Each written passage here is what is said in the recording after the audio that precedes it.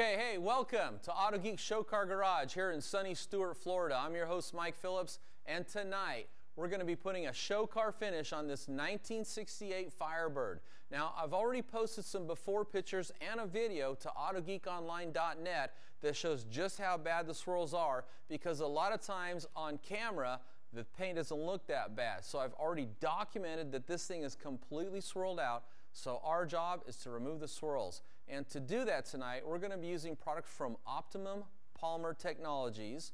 We're going to be using pads from Lake Country. We're, we're going to be using polishers from both Flex. We're going to use the Flex 3401, the PE14 rotary buffer, and the Griot's Garage 6-inch random orbital polisher, and maybe just a little bit of the uh, Porter Cable uh, 7424 Rand orbital polisher. Now I have the owner with me and tonight before we get started I want him to just share a little bit of the background story behind this car. David, how you doing? Good. You don't mind. Why don't you tell us just a little bit about the car? Uh, car's a 1968 Pontiac 400. I bought it about 10 years ago. Um, it's all original, numbers matching. It was repainted a couple years before I got the vehicle. Uh, it came with full documentation. The engine's never been out of it. Never had any major mechanical work on it. So uh, it's just old paint on it. And um, other than that, it drives great. It's a fun vehicle to have. It took me about six months to find the uh, car I wanted originally, and uh, it's a AC car, which is a little unique. Yeah. Uh, 400 Pontiacs. They didn't put a lot of them with convertibles. Sure. Um, well, it's got a top down, why would you want the air conditioner right. on? And I wanted something that would hold its value. Yeah. Um, that would be worth something when I got rid of it one day if I do. So it's a low numbers production car, and it's like I said, it's a lot of fun to have. Now, how many people have owned this car before you? I got it from a basically a broker that had a museum that I got it from the original owner essentially, so it's a second owner car. Basically, you're the second owner. Mm-hmm. You know, one of the things I really like about it is what do you call this? An iridescent or a pearl vinyl interior? Yeah, it's a pearlized ivory. Okay, yeah. It's I've never seen that before in a car. It's very eye catching, very pretty. It's a deluxe interior. It came with it. It had a this car had about every option you can get other than power windows. Um, and the hood tach, which I don't know if that came with air conditioning or not. That's one of the options that didn't. Okay. Here's a question for you. Since you've owned it, have you ever clayed it? No. Have you ever machine polished it or anything? Nope. So hand waxed it a few times. hand wax it. So all the swirls in here probably came with the car. You didn't probably induce them. It just that's how you got it. Yeah, that maybe some towels at car shows or something probably didn't help. Okay. Well, tell you what. When I feel the paint with my hand, okay, this feels pretty smooth. Go ahead and feel that. Feels pretty smooth and is shining. Now, have you ever done what's called the baggie test? No. Okay, this is called the baggie test. Right behind you, there's some sandwich baggies. Now, I want you to grab that and now feel the pain. Tell me what you feel there. Does it feel like sandpaper, basically? Yeah, it feels like overspray. Yeah, it feels like overspray or something. You definitely there's something bonded to the paint because we've already wiped this thing down, so all the loose dust is gone. So whatever's on here is bonded onto the paint. So the first thing we want to do is we want to clay this paint before we machine polish it. And I want to answer a question that comes up on the forum all the time, and that is people want to know, well, if I'm going to machine polish the paint, do I still need to clay it? And the answer to that is yes, because a lot of times when you're using a machine, a lot of times you're using a foam pad, and the foam is gentle, okay, that's safe for the paint, but it'll just glide over the contaminants. So you want a mechanical means to remove them above surface bonded contaminants, and that's where clay comes in. So the most effective way, and that's the key word effective, the most effective way to remove any above surface bonded contaminants is to first clay the paint. Now I have a bunch of new guys here at the Autogeek Show Garage tonight. Let me see, uh, Brian, Brian, have you ever used clay before? Yeah, I have. You, so you're not clay. Adam? No, sir. First time you're going to be claying, so why don't you come up here and I'm going to show you how to clay. Louis, you've been here before. We had, we had your 928 uh, Porsche here, so you know how to clay. And David, we had your 1949 Packard here, so you know how to clay. And I got, uh, what's your, Blake? Blake. Blake, and you're here with uh, Sean Kelly. And uh, you know how to clay, obviously, because you guys run a full-time detail shop. So tell you what, let's first we're going to go over how to clay, then we're going to clay this car, then we're going to set up to machine polish. Okay, so tell you what I want you to do is take that Adam, and I want you to take one of these. This is clay lube. And this is the Pinnacle Ultra Poly Clay. This is an ultra fine grade clay. And the way you use this, if you look, I've already kneaded these into patties about the size of a small pancake. And here's why. You want to put this on your hand So when you turn your hand over it, it covers your four fingers, and your fingertips go past the clay. You don't want to put the fingertips on the clay, so just a little bit past it. And the reason you want a patty about this big is so you have this much surface area working against the paint to get the contaminants off so you can move on to the next step. You don't want to spend all day claying.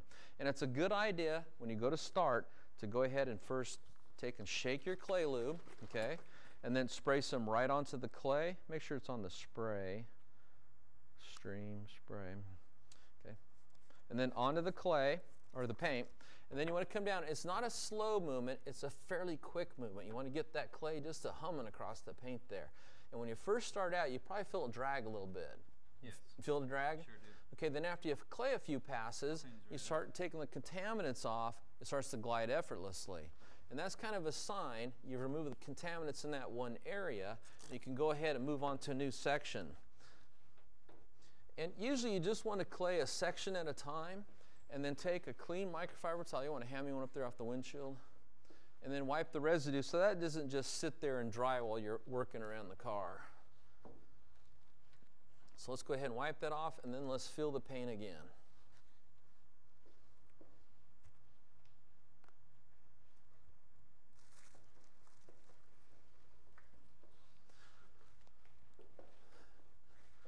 Okay, let's bring the owner down here. Dave, now put your hand on there and feel that. Huge difference, Yeah, isn't it? night and day. Okay, now a couple things that are important about claying is not only does it remove the above surface bond contaminants, but I think we can all agree a great looking finish is a glossy finish, right? If you go to a car show and the paint just glistens, that looks pretty good. Okay, gloss comes from smoothness. When you have above surface bond contaminants on the paint, that creates surface texture, and that surface texture diminishes the gloss. So by claying the car, we're instantly going to amp up the gloss. Now, here's another thing that's important about claying. If you've got a layer of contaminants bonded to the paint, and you just wash the car and try to wax the car, the wax is going to have a hard time sticking to the paint because the contaminants are in the way. So, in my life, since I've been working on detailing cars and uh, teaching classes and running the forums, um, one of the most common questions is how long does brand X wax last? That's a common question. You know, if you're going to buy a wax, you want to know how long is it going to last. Well, if the wax can't actually get to the paint where it can bond and stick to it, it's not going to last very long. So not only does claying restore gloss by making it smooth, it also enables your choice of wax, paint sealant, or coating to actually get to the paint where it can bond, and then it's going to last uh, longer than if you didn't clay the paint. So let's go ahead, for all the guys that know how to clay paint, let's go ahead and dive into this and start getting this thing all clayed. There's plenty of clay and plenty of clay lube over there.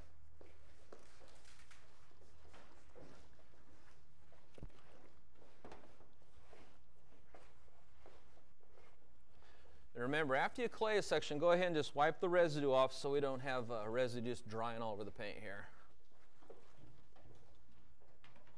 I can actually hear that contaminant up there scratching. Oh, is that right? You hear it, it makes noise until it becomes smooth. Yeah. A lot of times, yeah, a lot of times you can feel it too. Oh yeah. You didn't get the fender? No sir.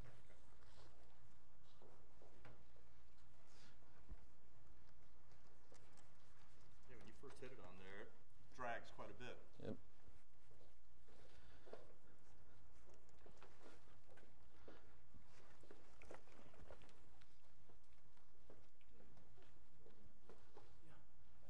Mike, you got right here, right?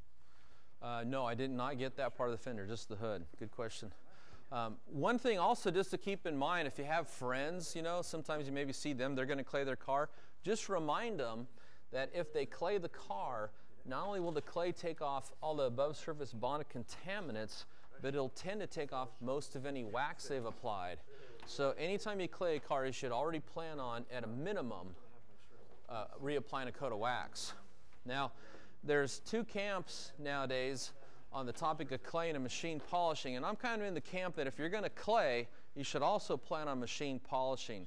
Uh, claying, when done correctly, is very safe, but you know there are some paints out there that are very soft, and just the act of claying could lightly mar them. And if that's the case, then a light machine polish would easily take out all that marring.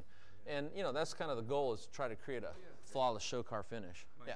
the, claying on the claying, it's it's safe to hit, hit on the chrome. Any well? good question.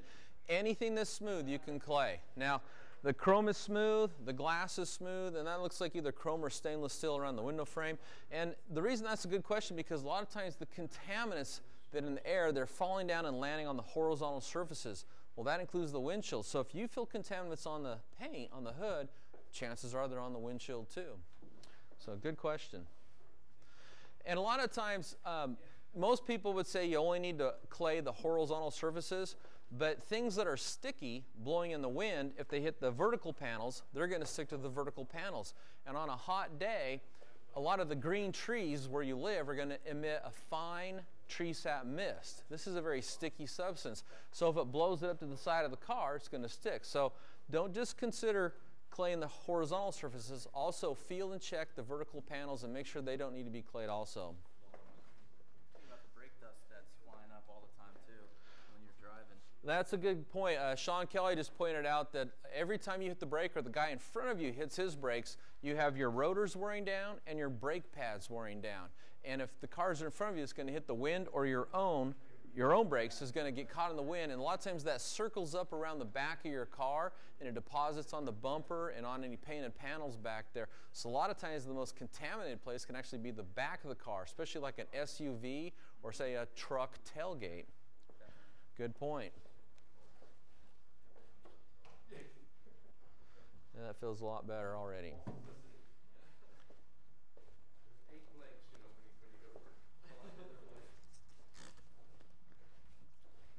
Blake said, you need this many people every time you do a car.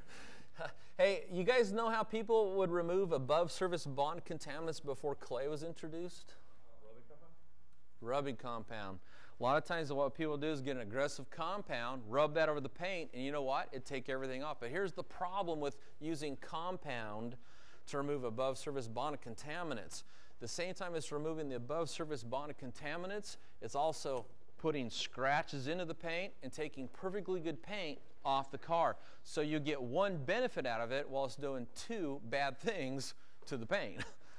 But that's what they did before uh, clay was basically introduced sometime in the early 1990s. It's a product that came out of Japan. Uh, I'm not sure who invented it over there, but that's where we got it from. Does it wear out? It does wear out. You know, that's a good question. Thanks for asking that, David. The more contaminated the car, the faster the clay is going to load up full of contaminants. Now, you can stop and re-knead and expose a fresh side of clay, but at some point, common sense is going to tell you when you look at that clay, that clay is contaminated. It's time to throw it away and get some new clay. A lot of times when you're doing some areas that have a lot of that metal particulate from brake dust and everything, those will carry around and they can actually induce a little bit more of that scratching and marring. Yeah, you know what I always do is I take and um, after I've used my clay and I think it's fairly well used up, it's not safe for paint. Then I'll take and use it for things like chrome or glass, where I'm not so worried about scratching the surface because it's harder. But that's a good point. It, a lot of times, um, people that'll have a, say a, a, wheel with a clear coat finish, mm-hmm. they'll they'll fill the paint on the clear coat finish on the wheel and fill the contaminants there and clay that off. But you would never want to use that on paint again because you'd be taking those metal particles that you pulled off the wheel and introducing them to the car paint, and that could scratch it. Another good point is, is anytime you drop clay on the ground, throw it away.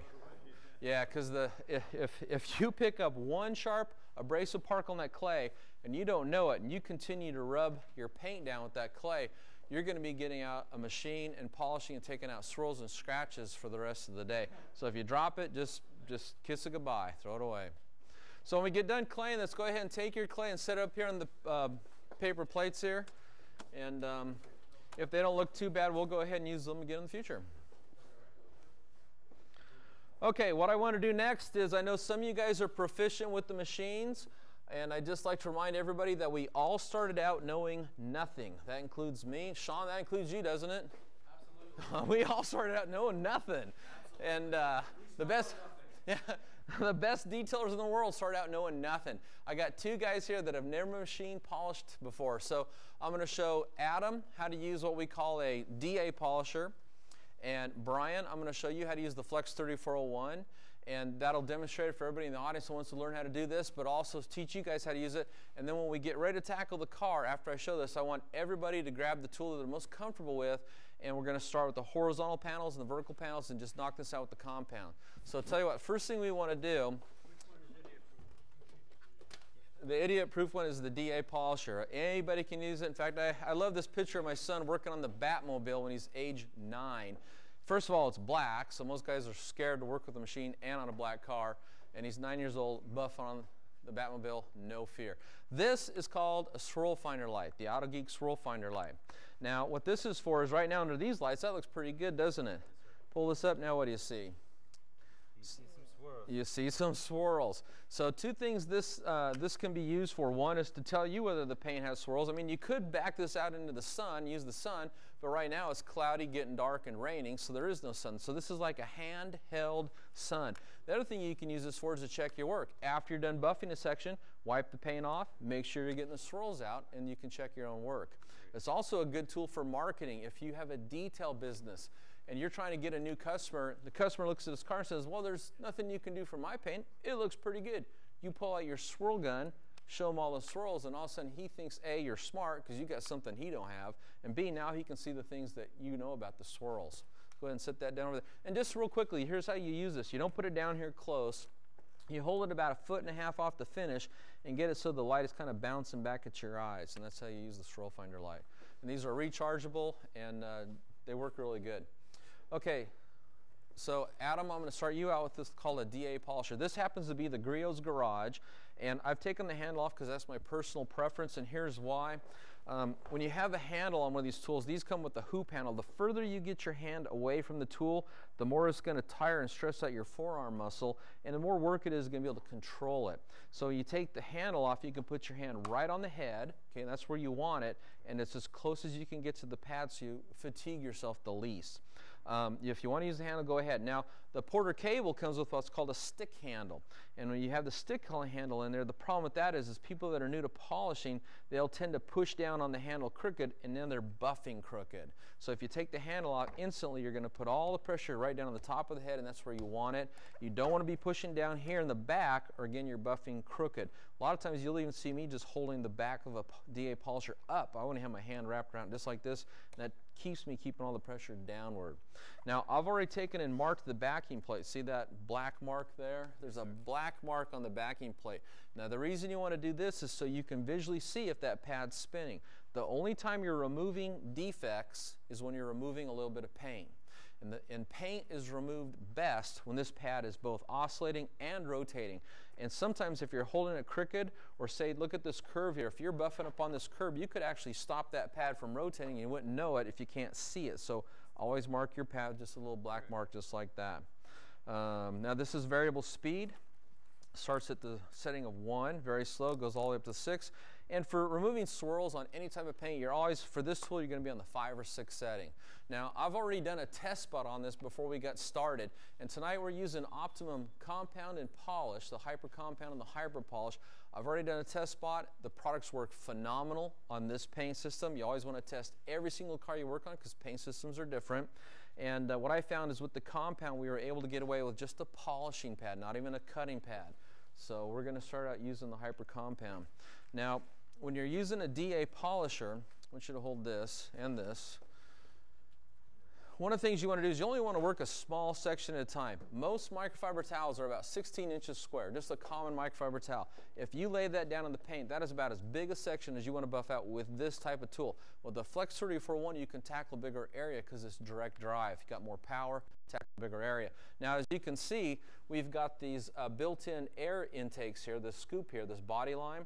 So we can't buff out a perfect square, and most cars you're never, you're never going to be able to do that. So what you want to do is just use your mind's eye and when you look at a car and you think about buffing it up, start looking at the curves and the body lines and figure out where the sections are that you're going to be buffing out. And so for this section, we're going to go ahead and tackle from right here, the seam where the uh, fresh air grill uh, body panel here meets the hood where it tips up. We're going to avoid buffing on the top of this. We're just going to come down to about right here. So we're going to buff out this big of a section. When we buff that out, we want to make overlapping you will bump into that real gradually. You'll see the paddle stop uh, spinning when you hit that too hard, though, because it's a curve. What it does is it puts more pressure on one portion of that pad, and it's enough to stop it. Because that's the safety feature of this type of tool. It's free spinning. It's not direct drive. In fact, I always like to show people how safe these are. I'll put this on the five because I don't want to take my skin off. But put your hand down there. Works for me. Okay, in, in, in your case, it's going to take skin off. Watch this. Does that hurt? Yeah. But see how it stopped the pad from spinning? Okay, but that just shows how safe this tool is, okay? I can hold that in the air while it's on. You can never do this with the 34-1, and you could definitely never do this with the rotary. I didn't want to see anybody try. Look how shiny your hand is. I know, There you it's go. beautiful. It hits the fingernails once in a while. Okay, so another tip, real quick, is always uh, put the cord over your shoulders so you don't sit here and drag it up and down the side of the fender. Another thing you want to do is you always want to put the pr- uh, product directly onto the pad and then put this down on the paint before you turn it on. And most people, and I got to tell the new guys this, most people make this mistake one time. At some point while they're buffing out a car, they'll put the product on and they will turn this thing on while it's in the air and throw splatter everywhere. Then you will set the polisher down and you'll spend about an hour wiping splatter dots off everything, including you. So you're going to make it once, but after that, you will learn to never do it again. Same thing, when you're done polishing a section, don't lift that up until you turn it off and the pad stops spinning, or same thing, you'll throw splatter dots. And the longer you work and the more saturated your pad gets, if you lift it off at that point, it's really going to sling some product. So make the mistake once and then never make it again. okay, so you got the compound. Yes. Okay, this is Hyper Compound by Optimum Polymer Technologies. Again, I already did a test spot and it pulled all the swirls out, but the way you use this is you shake it up really well. You want to dial this in so you got a spray coming out, not a stream. And then just one little tip, you don't want to pull it gently. You actually want to kind of pull it fairly firm. Otherwise, it will come out as a stream even on a spray setting. So that would look like this. So give that a couple sprays. I'll let you hold this, and then here's how you want to do this. Usually, what I show people is to start out by um, spreading your product out over the area you want to work, and you can do this rather quickly. Once you got that film of product spread out and it kind of shows you the area you're going to work, slow your arm speed down. Your arm speed is how fast you move the polisher over the surface. And the biggest mistakes most guys make with this type of tool is A, too low a setting because they're scared of the tool. They don't push down hard enough because they're scared they're going to hurt the paint and they move it too fast. And I think the reason they move it too fast is because they hear that motor spinning fast and they want to match it with their arm speed. And if you get this thing just zinging across the paint, you aren't going to do anything. You need to give the combination of the aggressiveness of the foam, the abrasives in the product, the orbital and the rotating action of the tool, downward pressure, and time. What is that? Five factors. You want all five of those factors working for you before you move it forward. And if you just sit there and move it back and forth real fast, you're just skimming over the surface. When you get done, the swirls are still going to be there. So here's how this would work. Spread it out over the area you want to work. Okay, remember I told you we're going to tackle this section of here? Yes, sir. See an e- even uniform film of product there, and even though you can't see abrasives in there because they're microscopic, they're in that film. Now that I got it spread out, I'm going to slow down. I'm going to put my pressure down. Notice the pad is still spinning, and then just start moving this slowly over the paint. Also take a look right there, Adam, how I'm up against the edge, but I'm not buffing on the edge. Now, classic cars like this, a lot of times where different body panels come together, uh, they aren't completely even, okay? So you're gonna have a high point and a low point, and in this case, the high point is on the hood side. So if you buff too long on that edge, you'll burn through with any kind of tool, even by hand. It's because it's a raised edge and because paint tends to be thinner on a raised edge. Now I just I just went over that section twice. I went this direction and then I came back and went this direction. So that would be called two section passes. We went over that section twice. In most cases, if you're trying to remove a swirls, in most, and this is just general, you're going to make six to eight section passes. So count them out as I go through them.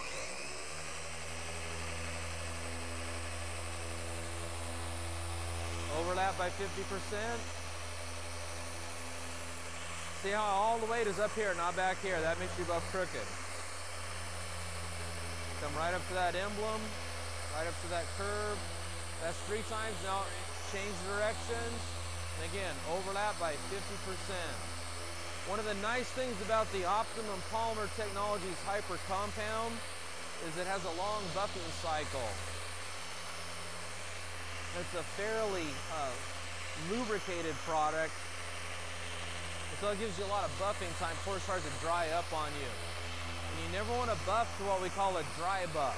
If you get to the point where you're buffing and you see shiny paint, that's a dry buff. There's no product, and you have now entered a zone where you could be micro marring the paint. Okay, how many passes is this? Okay.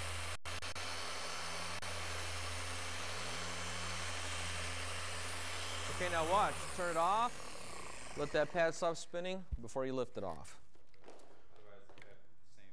Throw product everywhere. Now, you always want to wipe off compounds and polishes while they're still wet. And the carrying agents, the polishing oils, will act as the lubricant to help you wipe them off without put, putting tally marks into the paint. If you let them dry, it's going to be a lot harder to get them off, and friction will increase, and you could potentially start to micro mar the paint. Okay, so after we've done that, the next step would be moving on and then going to the polishing step. So I'm going to let you go ahead and repolish that a second time. Okay, for this case, I'm going to go ahead and take our polishing pad off. And for the pol or the compound, it's the polishing pad used with the compound. Now we're going to use a finishing pad. This is a Crimson Hydro-Tech 5.5 inch, 7 8 inch thick pad. And we're going to use this with the Hyper Polish. I'll take that. Now I want you to duplicate everything I just did. Normally, if you're buffing out a car, you would, if you're going to compound it, you would compound the entire car, wipe everything off, and then polish it. You wouldn't break it up and just do a section, but I want to show you how to do this. Again, shake this up, a couple hard sprays like that, and see how the pad is now primed because we've covered the entire thing. Mistake number one, put cord over shoulder, cord over shoulder. There you go.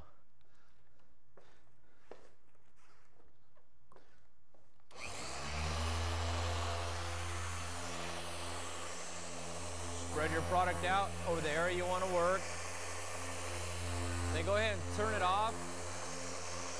Don't lift it off, turn it off. And let's turn the speed setting down. We don't need the six setting because we're no longer trying to remove swirls and scratches. We're trying to polish to high gloss. Okay. Let's bump it down to the five. Okay. Now just pick up where you left off. Now, the, now is this? I have enough. You have plenty of product there. And always remember, polishing paint isn't a grinding process. It's an art form. Okay, so go ahead.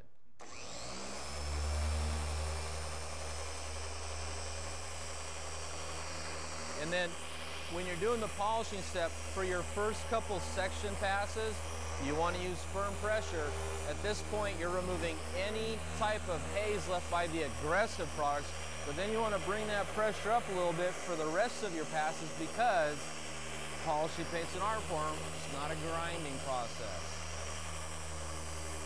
You can also move the polisher a little bit faster for the polishing step. Because right now, all the defects are actually gone.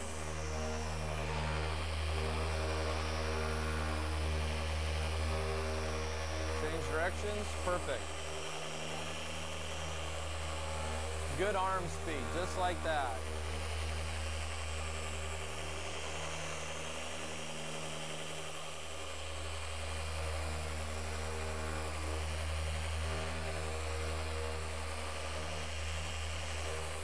And again, see how that black mark, it makes it easy to tell that pad's rotating? Okay. Okay, go ahead and stop after this pass. And then make sure that pad is completely stopped spinning before you lift it off.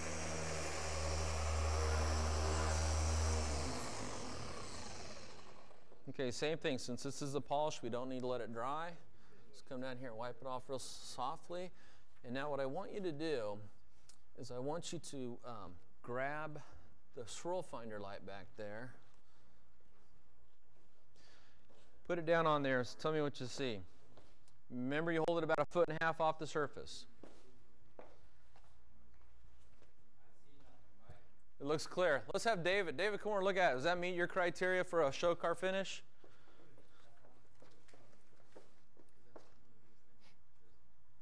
Yeah. Swirls are gone, aren't they? Okay, now, it could be that their polishing oil is hiding them. So this is a mixture of 12.5% IPA. I got an article up on autogeekonline.net that shows you how to safely mix IPA to strip the finish to really see what's going on down here. So I'm going to spray some of this down. I'm getting kind of low. Isopropyl alcohol. You can buy it at any drugstore. up on the in the forum world, um, a lot of guys were always recommending to people to use it straight out of the bottle, and that's called a hot solvent, and it actually could soften the paint. You don't want to use it that strong. You don't need to use it that strong. So I have an article that just shows how to safely dilute it, and it comes in three different strengths usually: 99, 90%, 70%, and 50%. See, I wrote an article just to kind of share how to mix whichever bottle you got. So you have about a 10 to 12% ratio. Okay, now inspect it. Are the swirls still gone? Yep, no difference. Okay, so that means we're actually removing the swirls, not just masking them, and that's the process we're going to use on the rest of the car. So Adam, how did that feel? Pretty good? Yeah. And it was easy, wasn't it? Yeah, Yeah. I was nervous when I started. Well, I think David was more nervous when you started his, his car. So hey, but thanks for letting us tr- treat, uh, teach absolute newbies how to work on such a cool car. And that's one of the cool things you get to do at AutoGeekOnline.net is you get to work on cool cars. Now, Brian, come on up here. I'm going to show you how to use the Flex 3401. Now, this is a little bit in Paul. By the way, if you're watching, I know you said you were going to record this. We showed that just for you because I know you just bought a Griot's Garage 6-inch random orbital polisher to polish out your toy. Okay. This is the Flex 3401. Uh, tell you what, I want you to stand here, and if I always tell people they stand next to me, I'm going to put them to work. You stand here and hold this. So just real quickly, here's the primary difference between that tool and this tool. This is free spinning. It has what's called a free floating spindle bearing assembly. That's a whole lot of words to mean it's not direct drive. That's why it spins like that. And that's why in the five setting, I can hold it like that, okay? Or do that to it. Ain't gonna hurt nothing, very safe tool. This is also a dual action polisher because it does two actions at one time. It rotates in a circle and it makes an oscillating action inside that rotation, but it's direct drive. If I grab this, I can't spin it. I certainly couldn't hold it while I turned it on, and if I did, it'd probably take the skin off my fingers. But if you just watch, you can you can see when I pull the trigger there, that's a direct drive tool and it's oscillating and rotating. I want you just to grab it and feel the, the, the gears in there as you spin that. See that? Okay, so it's a little different tool. Now we have the brand new 5 inch hydro or hybrid pads. This is the polishing pad. We also have the brand new 4 inch adapter. And this has a 4 inch piece of Velcro in the back, so it's very easy to align and use. And while this tool is easy to use with any foam pad, it is easiest to use with the 5 inch pad. And one of the reasons why is because if you're, if you're new to using this, if you lay this thing down, if you don't hold this completely flat, you'll feel it kind of try to walk away from you, depending on which edge you hold it on. So in a way, it's self-teaching. It gives you feedback that teaches you you're not holding it flat, therefore correct the way you're holding it so it doesn't try to walk on you. But I just want you to point that out, so, and I'm to make you feel that difference because then way you'll know the correct technique to use. Now I already did a test spot over at this, so this pad's kind of already primed, but let's go ahead and add some fresh product to it. And I want you to step up here, and because the Flex 30 or 41 is a direct drive, it has a lot more power, we tackled a fairly small section up here. You could actually tackle this section all the way to here with this tool. And so in the detail world, if you want to do this for money, you can get the job done faster with a direct drive tool versus one that has a free floating spindle assembly. So shake this up. Give it a couple sprays just like that. And the same thing, you're going to do basically the same kind of thing. Now this has a variable speed dial. It's right here conveniently located where your thumb would be. And usually I want to put this down about the three to spread my product out. So the first thing I'm going to do, spread my product out like I was going to do it with the polish over there. And I'm going to bring my speed up and then start taking the swirls and scratches out. I'm going to do three section passes, turn off, and let you take over. Okay? So this will look like that. Spread the product out. You can do this rather quickly because again, all you're really trying to do at this point is just spread that product out so you have an even, uniform layer of abrasives over the section of paint you're going to buff. See that? Okay, now I'm going to bump the speed up and go to town.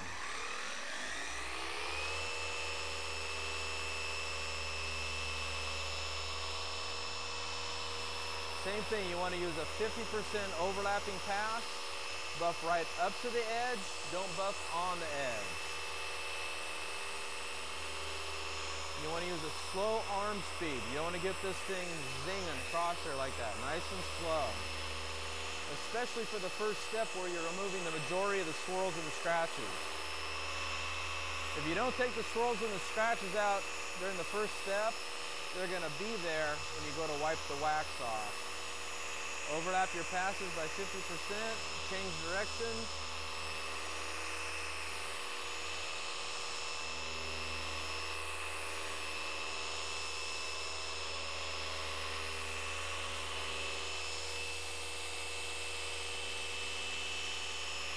I'm going to go back to my original first direction. So, Brian, how many section passes have I made so far? I've made two and I'm on my third one, right? Okay.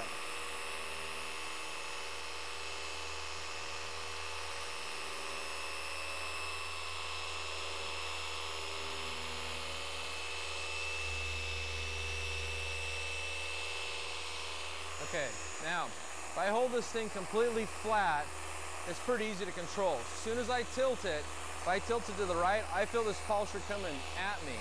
If I tilt it to the left, I feel it want to walk away from me. If I tilt it forward, it wants to go that way. If I tilt it backward, it's trying to go to the front of the car. So that's what we talk about when we say it tries to walk on you. If it's trying to walk around on you, it's because you're not holding it flat. So I want you to first practice perfect technique and then tilt it to get a feel for it. Ready? And I've done three section passes, so I want you to do at least three more. Cord over shoulder, good man. Don't turn it on until it's in contact with the paint. Right. Trigger Trigger's right there, and there's a lock down there if you want to lock it into place. right speed. Yep, six on the five or six for removing swirls and scratches. All right. And pressing. Yeah, light pressure until you get it moving. So go ahead and turn it on.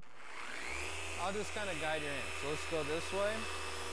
You want to try to keep that pad as flat to the surface as you can. And because there's a roll here, you got to roll the body of the tool to match the roll of the panel.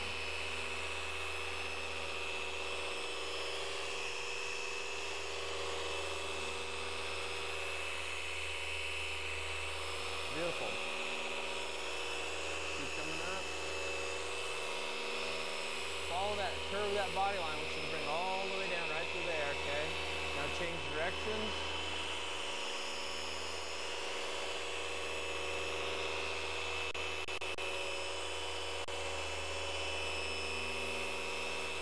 After we finish this section, I'm going to let you go, freestyle. But I want you to try that rocking around a little bit so you can kind of feel that walking characteristic. I want you to accentuate it so you really feel it. Put it right, put it right out here in the middle. Now tilt it one way. Feel it? Yeah, that's what, I, what we talk about on the forum. We talk about this tool wants to walk on you. It's not a bad thing. It's just telling you you're not holding the pad completely flat. And Adam, while you're here, I want you to try this tool too. And that way you'll have tried both the DA polisher and the force rotation DA polisher. Then you kind of decide which one fits you best for what you're trying to do. Adam, by the way, is starting a detail business, so that's why he wanted to come down here and learn how to machine polish. Brian, just an enthusiast who wants to learn how to take care of his own cars. He's been reading the forums and he knows he's got to get a machine and actually to take scratches out of a clear coat finish. Hand me a clean microfiber towel. Okay, go ahead and pull that pad off, and I'm going to have you go ahead and polish this section. Now for this, we're going to switch over to the gray, or some people call it a black, and that's a polishing pad in the new 5-inch hybrid pad system. Look at that gloss. Doesn't that look nice? And, and keep in mind, that's a compound. So a lot of times in the old days, compounds would leave the paint looking scoured. You remember that? You know, nowadays the technology is getting so good, it, it looks like you just waxed it. Okay, I'll let you go ahead and do this. What you want to do is you want to line this to that as close as you can. Beautiful. With the rotor, you want to be dead on accurate. With these tools, just get it pretty close. It's going to bump that speed down to the 4 setting. You don't need the high speed because the defects are gone. At this point, we're trying to polish to a high gloss, maximize clarity. So now we're going to switch back over to the Optimum Hyper Polish. You hold it and I'll squirt it. I wouldn't hold it in front of your shirt though, because sometimes I'm not a good aim. There you go. Do not turn it on until it's in contact with the paint. and if anybody, anybody wants, I do have smocks here to keep you clean. But all this stuff washes out pretty easily.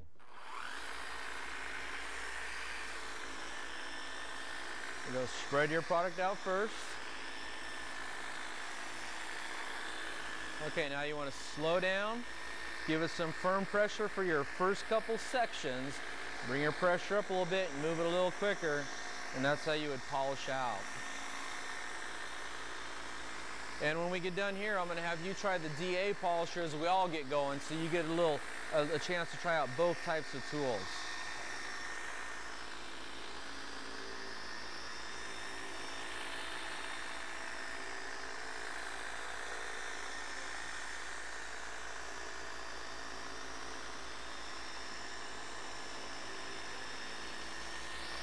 Now, one of the things that's good about doing a section pass like this, where you're basically running that buffer in one direction, then another direction, is that it doesn't take much to figure it out and think about it. And if you ever get to the point where you own a detail shop and you're going to be hiring employees, you don't want them trying to figure it out. You want to be able to teach them a simple system they can duplicate over and over again on any car and get good results. And one little tip about using the section pass method is after you finish one section, overlap a little bit into the section you just finished so you have what we call UMR, Uniform Material Removal. If you've got uniform swirls throughout the entire finish, you want to take off a uniform amount of paint in the polishing process so when you pull that car on the sun, there are no swirls anywhere in the paint. And that's called UMR, Uniform Material Removal, and you get that by doing a section pass but also by overlapping into the previous section each time you move on to a new territory.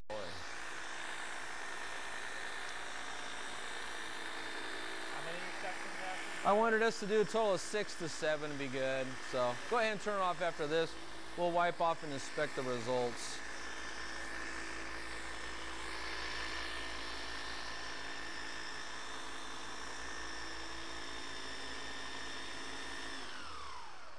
Okay. Again, never let these dry.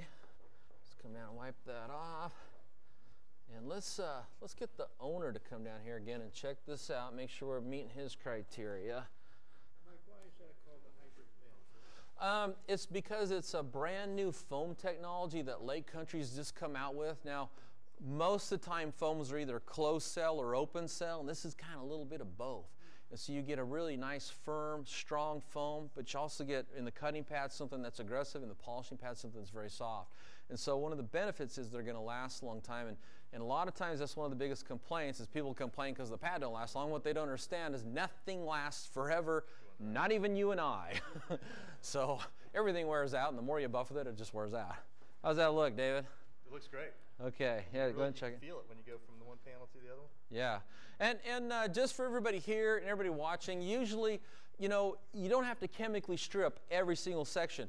If we chemically strip this and we checked it with the Brinkmann swirl finder light and there are no swirls, if we do the same thing there that we did here, it's pretty safe to assume those swirls are gone. You don't got to keep spraying the car down with alcohol. You just want to do that in what we call the test spot. And if you can prove your system there, I think you, uh, you guys can understand if what we did here and here with those two different tools works, shouldn't we be able to do that to the rest of the car and get the same results over the rest of the car that we got here? So that's the importance of dialing in your test spot, learning how to uh, do a test spot. Make sure your choice of compounds and polishes, your choice of pads, whatever they might be, and your choice of tools, whatever those might be, and your skill, you bring something to the table too.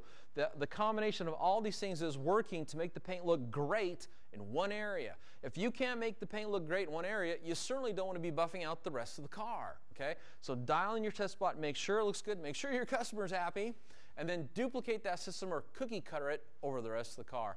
Now, when we get done, we're going to start machine polishing this. When we get done, what we're going to do is we're going to put on the Optimum wax. Could somebody hand me the Optimum car wax there?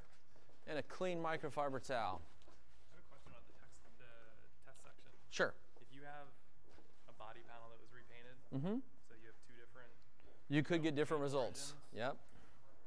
And, and that's important. And sometimes you might find that, especially as a detailer, you're buffing out a car and hey, your test spot worked good and everything's working good. All of a sudden you get to a fender and it ain't working very good. Could be repaint. And that's where experience comes into play. You have to have the experience to be able to pay attention at the task at hand and notice that it's not working and then have the tools, the pads, the experience to stop and try something different so you can dial in a system that works on that panel. And if you do get stuck, that's the cool thing about the forum. You can always come up to the forum and say, hey, everything was working great, got to this one fender, now it's not working. What do you guys suggest? And our forum community will dive in head first and get you some help. Now, yeah, go ahead. pads, I'm sorry. Yeah. But just before you move on, I, um, how, about how many uses of those, for those pads? I have no idea. You know, you use them till they start to look tatty, then you buy new ones. It's a good question, but there is no pat answer like five cars, Okay. ten cars. No, I didn't know yeah. if it was, if you kept it on one car or. or- Oh no, yeah, you buff out the car till it's done. But here, here's the deal. And this question comes up all the time. You know what you want when you buff out a car? You want a lot of pads, as many as your budget will afford. It's faster to buff out a car, and as your pad starts to get loaded with product and starts um, starts to get wet with product, to switch to a clean dry pad and get the car knocked out, and then deal with washing and drying those pads after the job, versus trying to buff out the entire car with one cutting pad, one polishing pad. I just didn't know if, So- you, if you went from a color like this to a black or something. Mm, no, and that's a good question, but think about this. This is a clear coat finish. We're not working on a green car. We're working on clear. It doesn't matter if this is white or blue or anything. It's clear, so it doesn't really matter. But it is a good question. Now, if you're working on a single stage paint, you'd see, say this was green single stage, you'd turn this pad over, you'd see green paint on there. Ain't gonna hurt the pad, but you do want to wash it off at one time. But just to kind of get back to what we're gonna do to finish this process up, this is the Optimum Car Wax. This is a patented UV inhibitor in it. Uh, Dr. David Ghodoussi actually helped to create the clear coats that are on modern cars today. And what I always tell people, if he's smart enough to make the paint, he's smart enough to make the wax that goes on it. Now, to use this, you would just take and first you'd just stick this over to the spray function. Spray this on, mist this around, or spread this around. Turn to the dry side and buff it to a dry high shine. And this is what the end result for this entire car is going to look like, what we see right here. Yeah, and see, here's what we'll see over the rest of the car. so again, and then come up here and feel this. Feel how slick that. David, come on up here. Check this out. So this has been compounded, polished, and waxed. So the rest of the car is going to look just like that. No, we don't use the bag. We already did that. Wow. Yeah, feel the other side. We haven't done nothing but clay over there. How's that feel? Well, you can just see the difference. Oh, you can see there's yeah, glossy. Okay. Now before before you guys all get started, I want to go over one more thing, and that's how to clean your pad. Now we talked about this before the camera went live. Could you hand me one of those terry cloth towels? As you're working around the car, and you're using a compound and a polish, after you get done buffing a section, you're going to have two things building up on the face of your pad. When do you guys want to tell me what they are? The residue of your polish, And? whatever other And the contaminants you're picking up. Okay. Clear coat. Hopefully, when we clayed it and washed it, we got the contaminants off.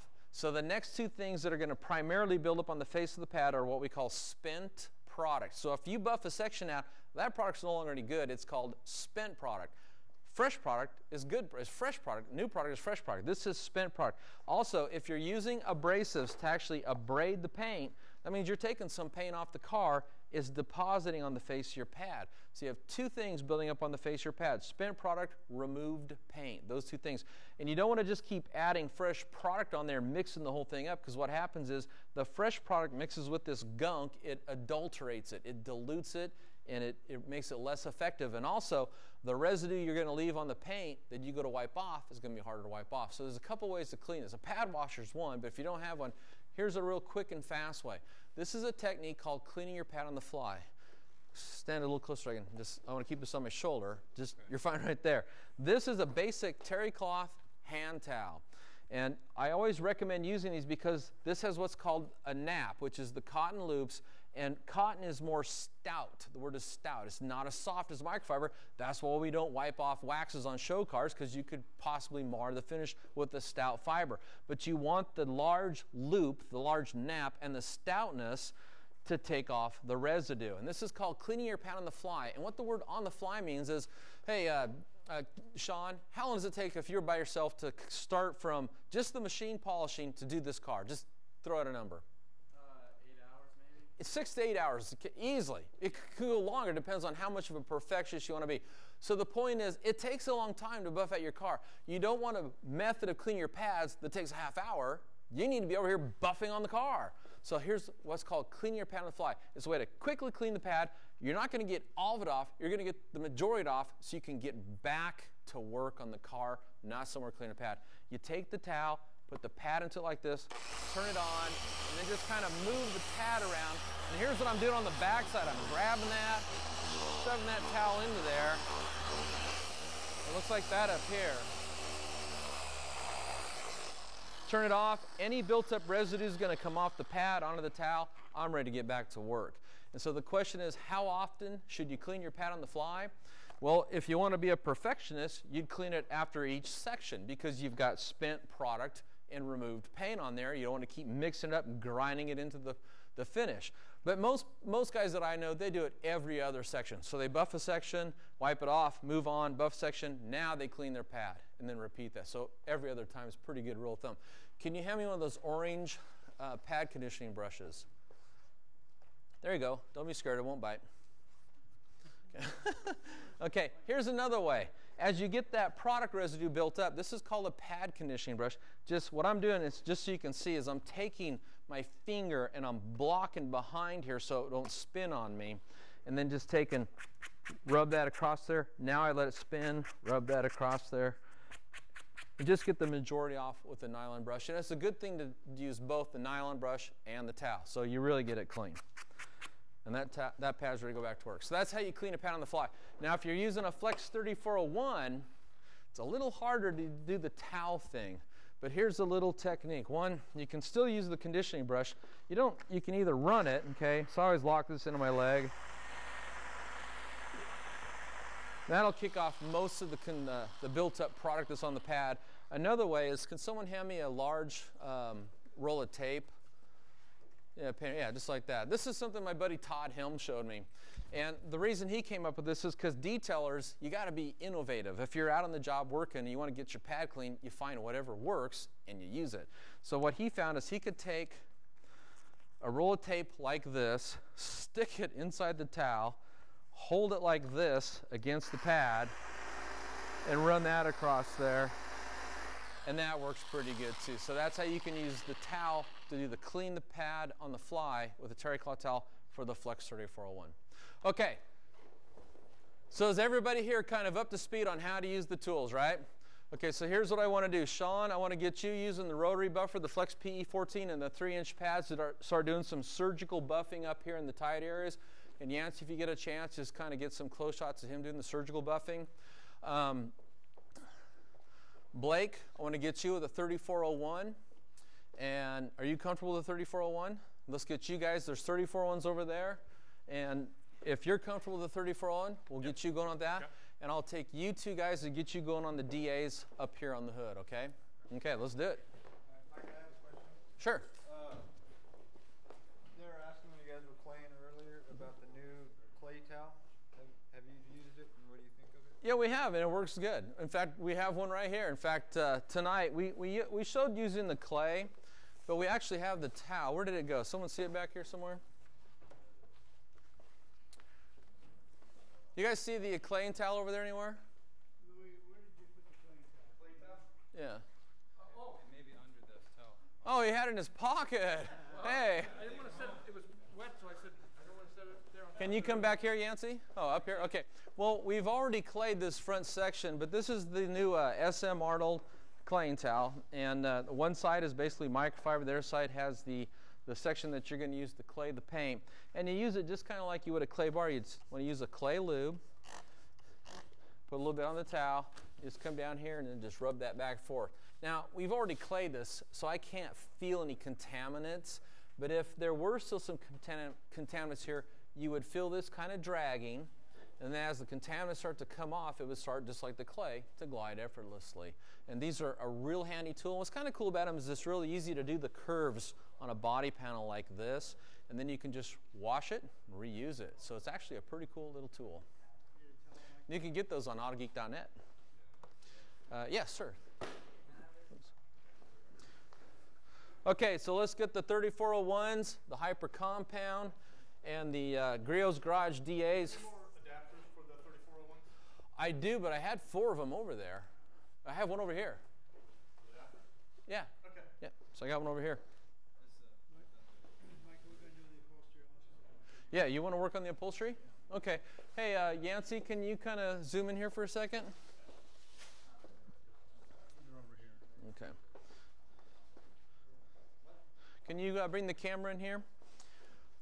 Let's pull. Can you pull those towels up and set them up here on the uh, the, the cover up towels? Okay. This has the. Hey, David.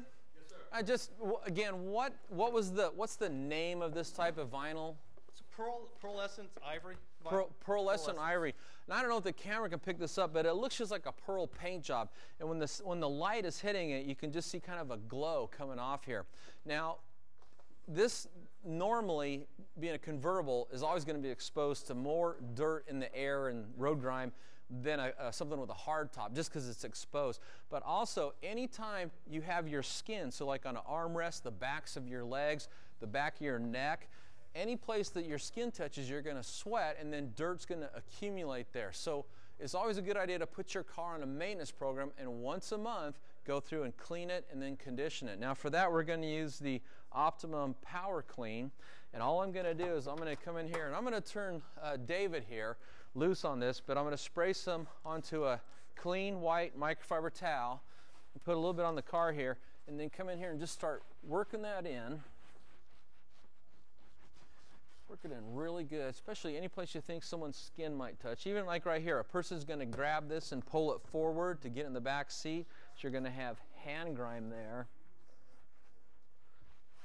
Okay, now that was just just one part of the seat. And look at here. Let me pull this apart so you can actually see how much dirt. That's just the cleaner. Yeah. Can you can you does that show up on the camera there, Yancy? So, so this interior needs to be cleaned. Okay, after we get done cleaning it, let me grab another microfiber towel just because I don't want to cross-contaminate.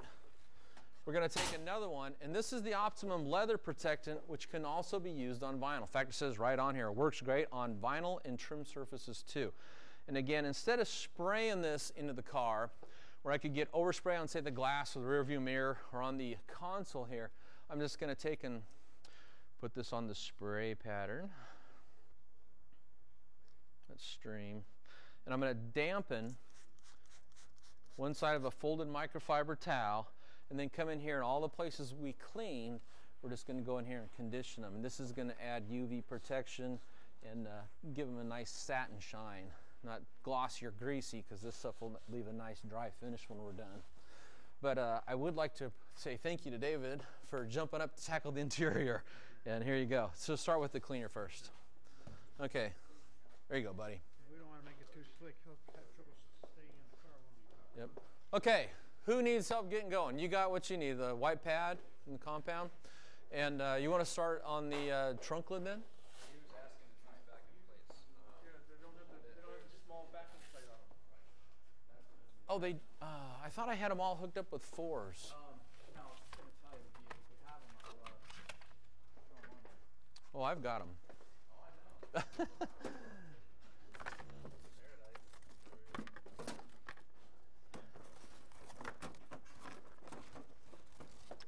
here's a four, and here's a four. So, and now we need the wrench to go with them. How many do we need altogether? Uh, three, I think. Yeah, three. Okay. Okay. Well, first let's get the DAs a buzzing. Okay. so this car starts getting polished, and and uh, so go. If you don't have a tool in your hand, go ahead and get the DAs, and I'll get these switched over. Yeah, just sit it over here, and I'll get the Allen wrench out.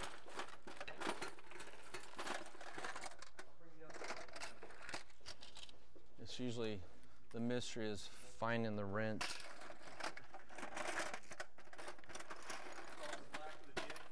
Uh, we're going with the uh, with the orange. Orange. Orange with the Griot's, yeah, just like that, and the compound.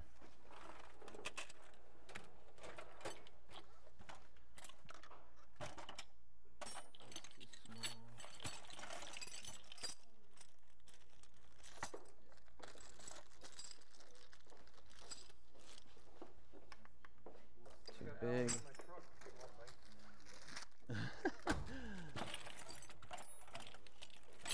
thought those were all set up. That's too big.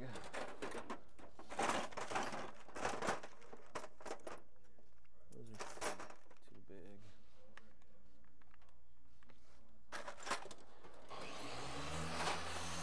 There we go. Now I hear a polisher going.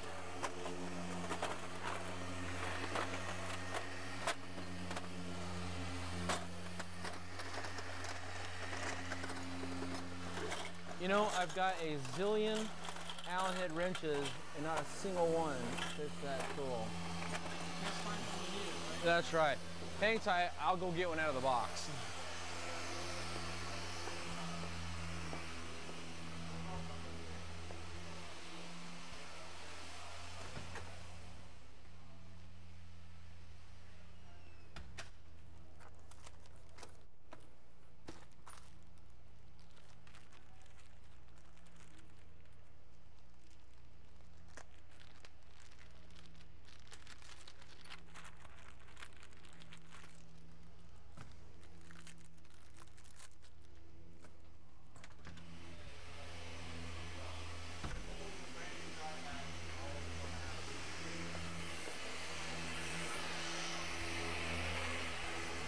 Got it.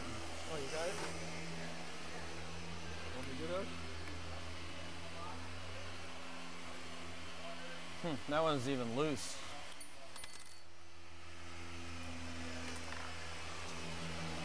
Hold on.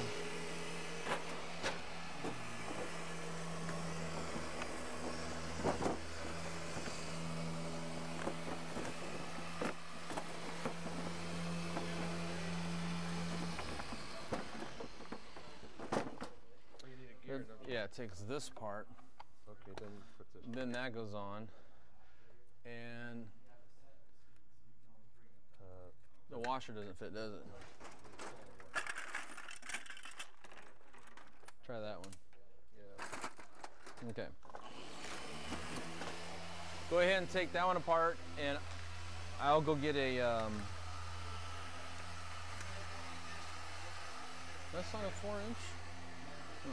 Yeah, that's a four inch. Yeah, that's a four. That's the one that's there. Okay.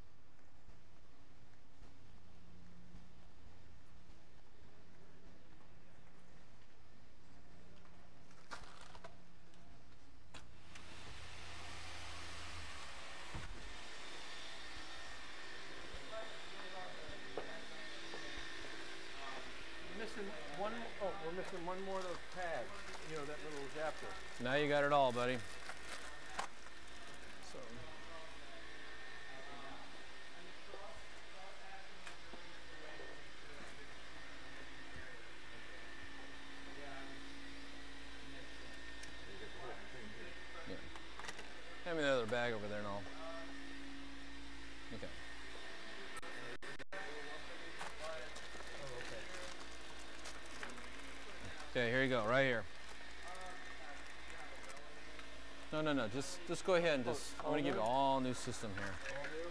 Yeah, that way we make sure I got everything's perfect. That's back. Have that one. Okay.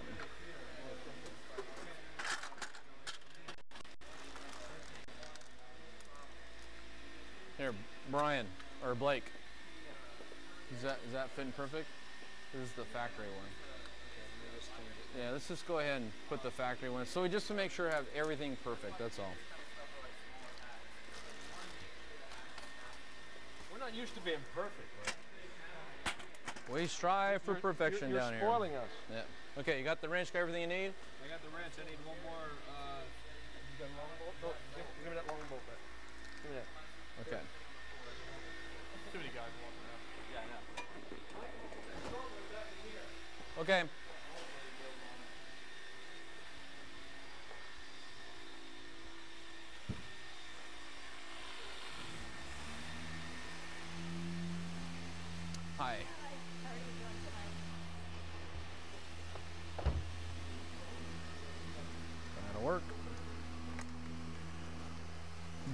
Beautiful by the way.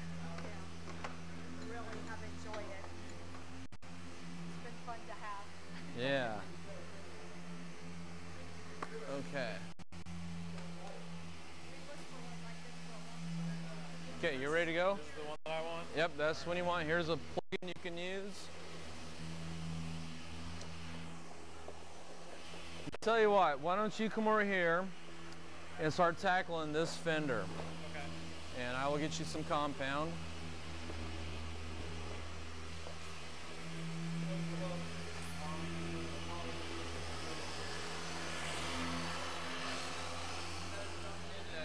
You want to do is try to actually finish your entire hood. So this is a new dry pad, right? Yep. there anything different? Uh, you know, normally if we were using a lotion type product, we would spread it around and call do what's called priming it. But if you use this, let's do this over the paint. Now it's primed. See, it's that quick. Now for this car here, you're going to be able to get a section here. You'll be over a little bit, but you'll be okay. Then come around and just, I'd probably go to about right here. Grab this much section. This would be one section right there. Here's a section, and then here's going to be a section and a section down there. And don't buff over the top of those louvers. But just kind of always think about breaking it up into sections like a checkerboard, like our floor here. Right. And Section and section. Six to eight passes. Six to eight passes. Six to eight on the next. Nah, four to six on the polishing, because all we're trying to do is pull out any haze left by the aggressive compound. So go ahead. You know, and just to say the truth, the way I would normally do this is I just sit down. Yeah, because you, you always want to be looking across. Let me see that thing. You always want to be looking across from the paint as you're buffing on it. Just bump this up to the six. Your product out and slow down.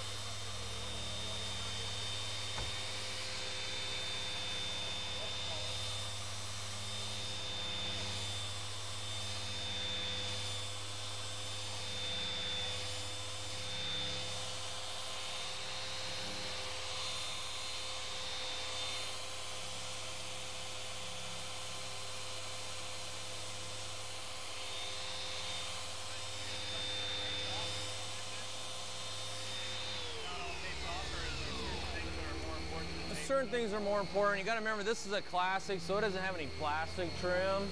New cars like yours, anything that's plastic, yeah, you want to tape it off. Anyway, that's how you just see. And I went to about right here, kind of came around, got this. There's a fairly deep scratch there. We looked at it earlier. We're not going to try to take that out. Knock this out. Add fresh product. Knock this out. So try that. Give that a try, and if you need any help, just give me a call.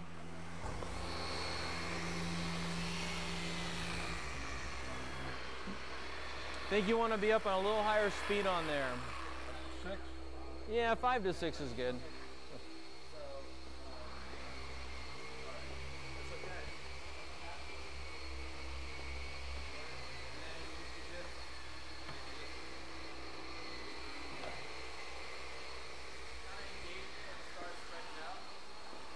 Who's got the polish?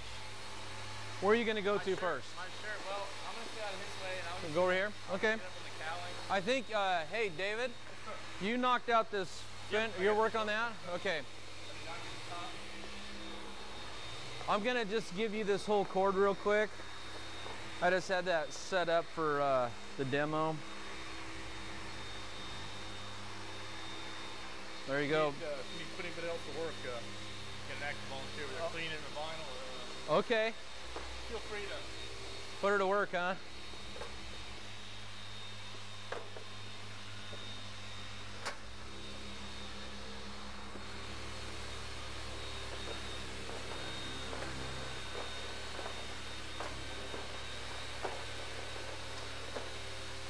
Oh, you've got that one.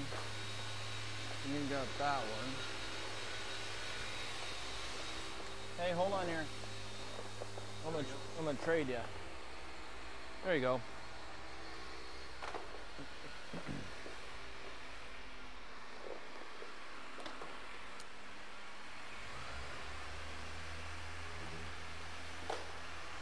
Okay. Hey, Yancy, can you come in on tight on this?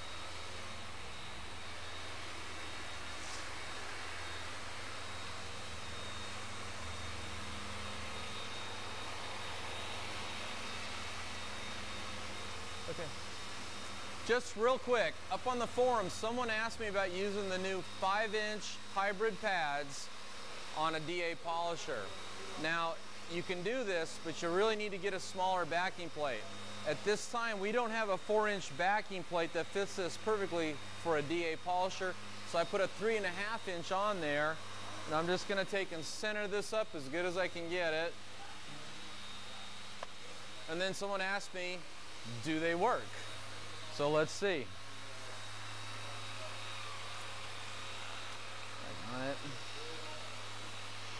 There. The spray pattern didn't quite work there.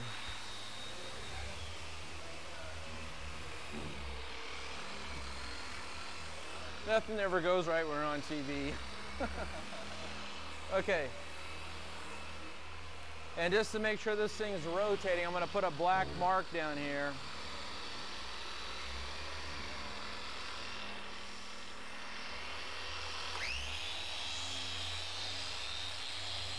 Okay, then can you bring that down and Okay, so that's the 5-inch hydro, Hydro-Tech or hybrid. That's on the 6 setting on a Porter cable.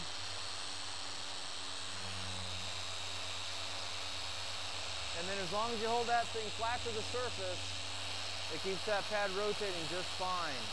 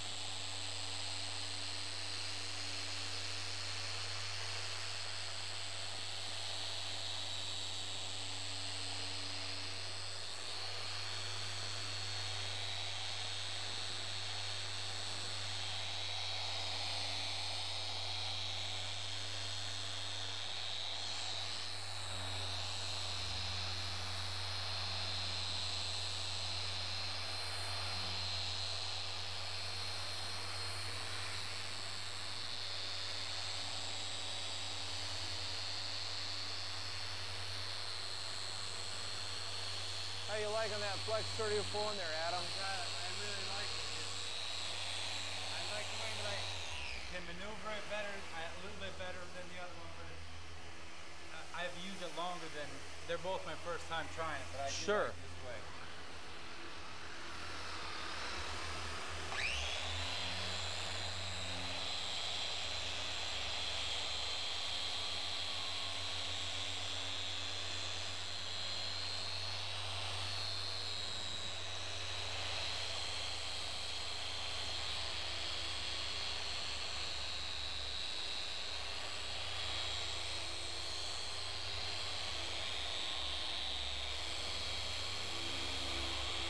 Sean, are you in the polishing step right now?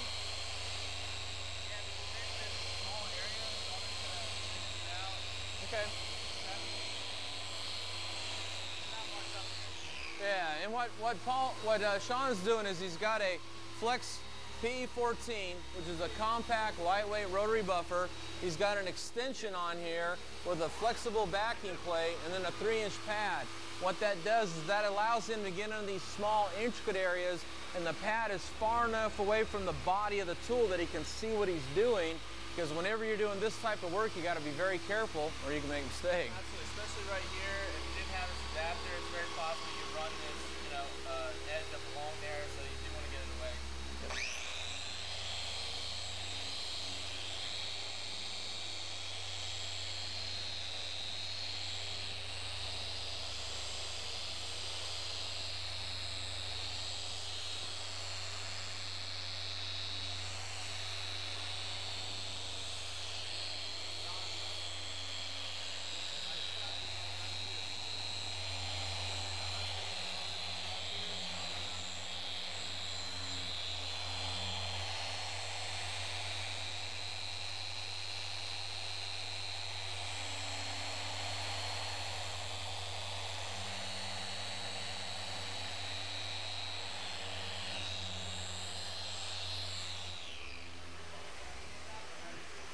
Need to get right here. Yep, I can see the scratches from here.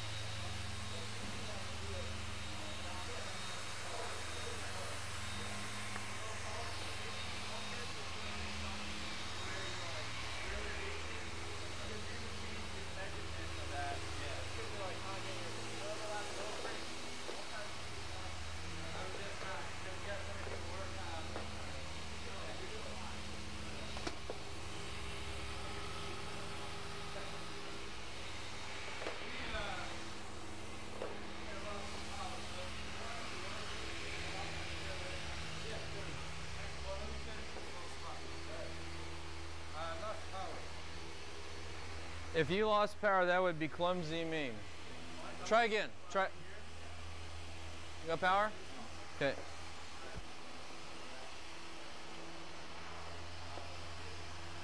Why unplugged?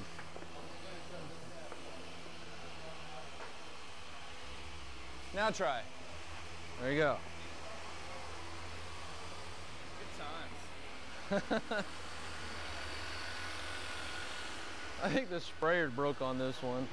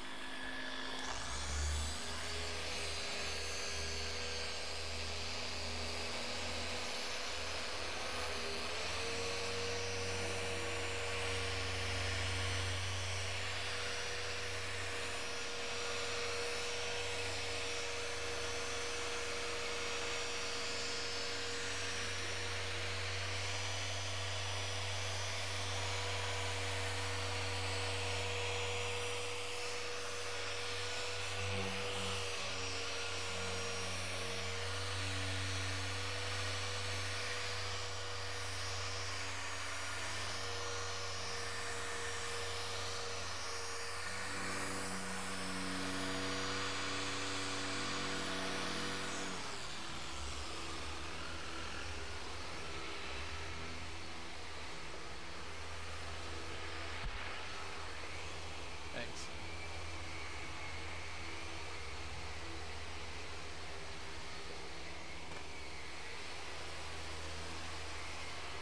Did you do this section right here?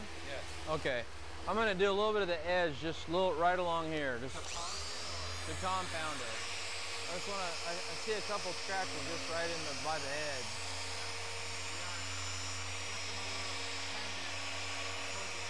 No, that's okay. I'd rather you be a little bit careful than make a mistake. One of the things you always got to be careful when you're working on someone else's car is you don't know who buffed it out before you. They may have not used a good tool, a good pad, a good compound, and taken a lot of paint off. You make one or two passes and boom, you go through. It was whisper thin, is what I always call it. So it's always better to uh, take the cautious approach than to be overconfident.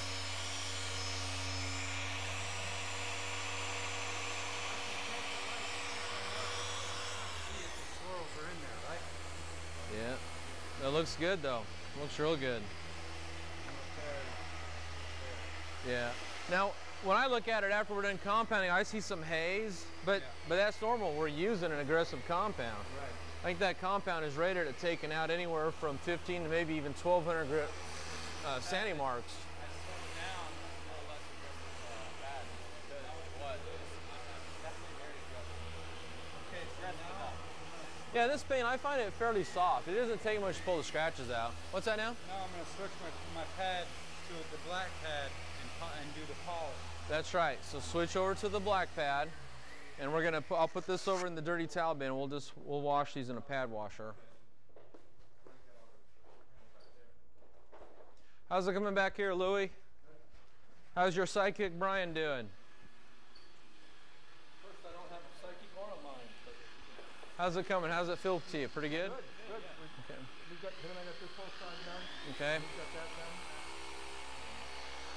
How's this coming out down here, Blake? Try to, if you see a, Blake's been giving us pointers. well, if you, if you see something, try to get it or you track it everywhere. I'm not only the director of training, I'm the head floor cleaner. And the, and the towel and the sponge washer. too. yeah, pad washer. Good job here.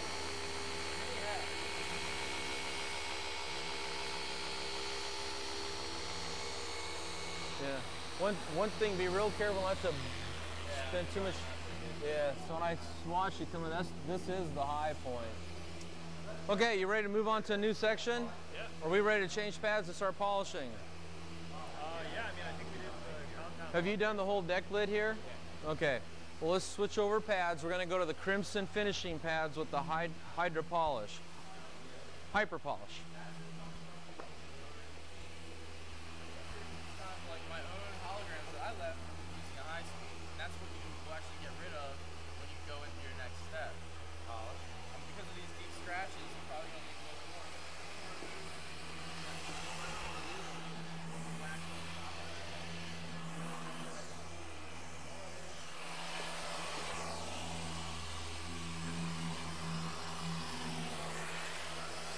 How are we doing over here, David?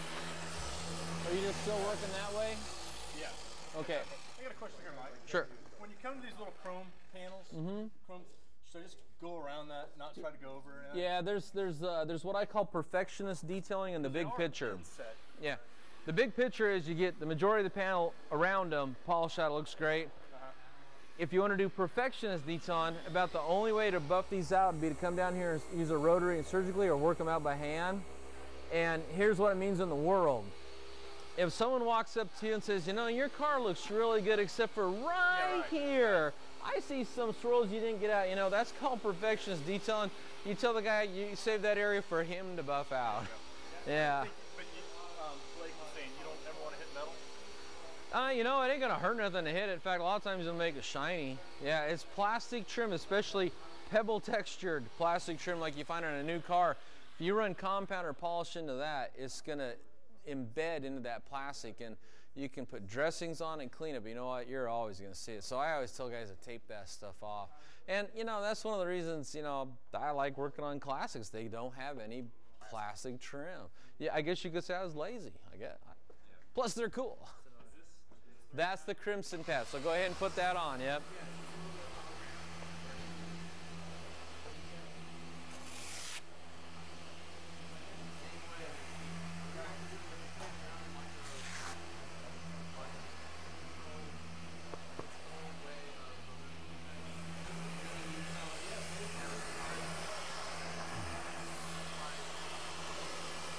How's that interior looking, David? Man, I see a lot of dirt on that towel. A lot better and it's a lot protected now too. Wow. Yeah, it looks nice. It's not shiny, it just has a nice sheen to it. Okay, hey, probably from the sun. Hey, David, I'm going to start here polishing and work toward you. So as soon as you get to that edge, it'll be time. He's going to knock that out. Okay. Well, then after, hey guys, after you get down to the compounding stuff, let's switch over to the finishing pads and get to the hyper polish, then we'll get to the wax. So.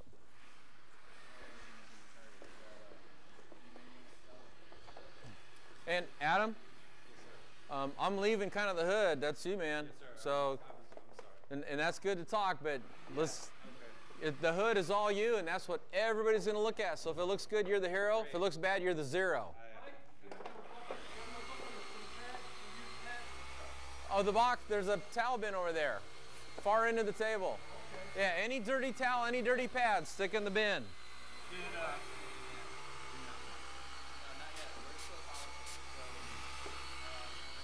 Yeah, you can grab that part if you want to. I, I always do.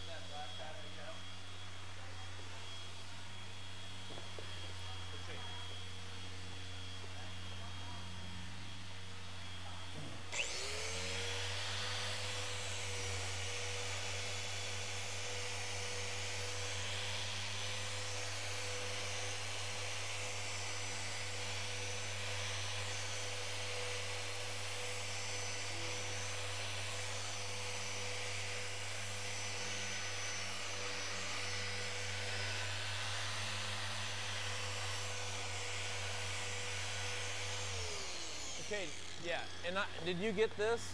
I went to. It. Okay. Polish it, yeah, I'll, I'll I'll polish it real quick then. Okay, and I'll polish. I'll get the with.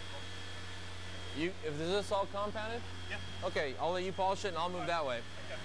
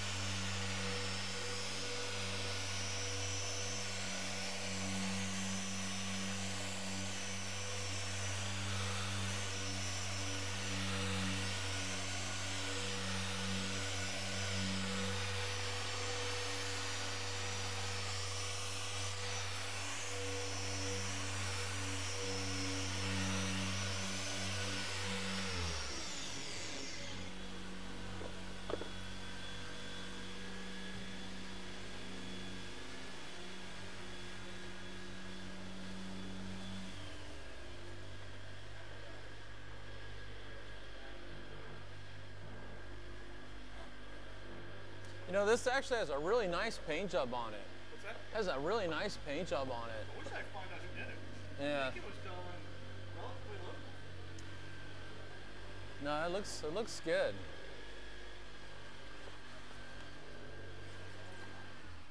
That's considered how old. Yep. Okay, I'm moving down to the driver's door here. You need the polish? Yeah. Okay. Adam, has that fender been done by you?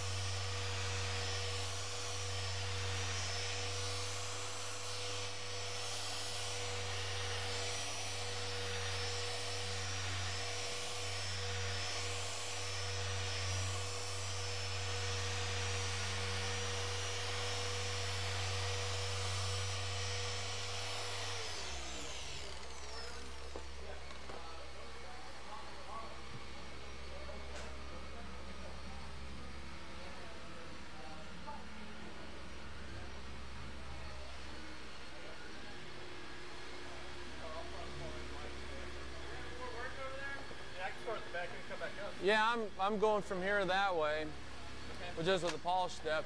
This side of the hood hasn't been done. If you want, I was gonna let Adam knock out the whole thing, but if you want to give him a hand, you can. That's what I will. I'll do that. Yeah. Cause then we'll be ready for wax, I think.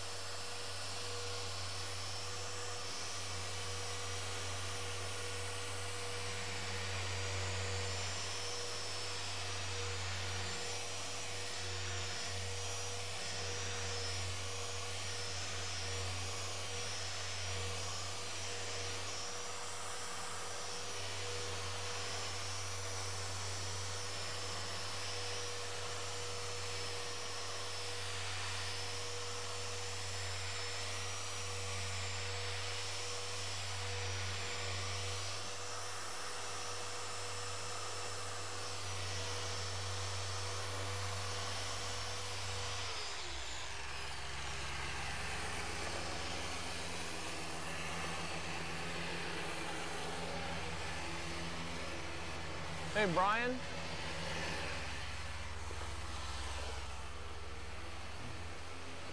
Tell you what, I want you to get some uh, practice time doing the horizontal panel too. So why don't you start up here? This whole side needs to be polished out. I'll just let you take over with this and I'll get another polisher going. You good with that? Yeah. Okay. And I left, I, mine right there if you're looking for another uh, Okay. polisher. So basically what we did first here and here. Yeah, I would start out and um, I would start out. You haven't done this right here, right? i Started to do that right now. Well, you never want to reach over halfway. Well, I was gonna start. I was gonna do this hat and then come back around that side and do the other half. Oh, I'm going to have him start here. Oh, okay. Yeah, so go ahead and just knock out that half and you can work your way this way and we'll get him going right up here. Yes. So so come out here and knock out say from here to there and this at the same time, then move down to here. So give it a sharp burst. Hold it over the car when you do it. That way the splatter goes where you want it. Yeah, another one. Yeah, give another one. Yeah, one more. There you go. I'll take that. Okay.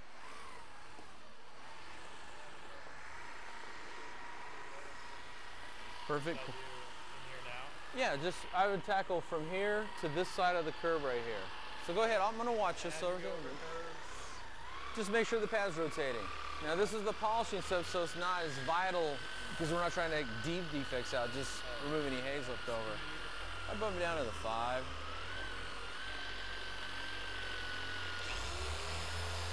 And spread your product out over the area you want to work. And at, at this point, you don't need to push down too hard. Because remember, we're polishing now. We did the compounding before. So less, we don't need to collapse that thing. I always try to tell people to, to lock into their brain, polishing paint is an art form, not a grinding process. Too many guys are just grinding on the paint. Hey, that's good. See how you you came up and you got the side of this, but you kept your pad rotating.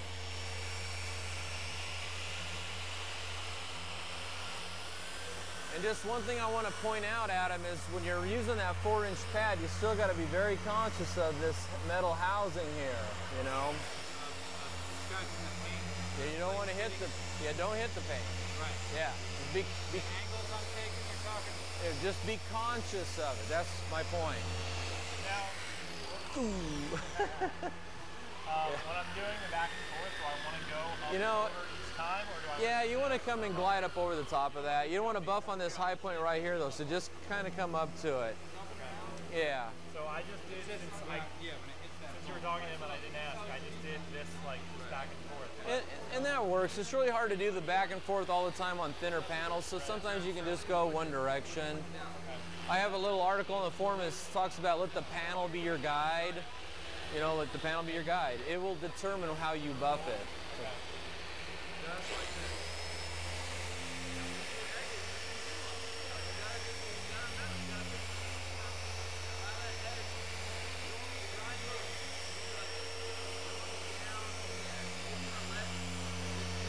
I was just trying to do the pattern of the straight, uh, back and forth.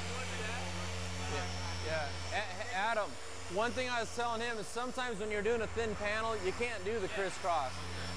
The, the, the saying is, let the panel be your guide.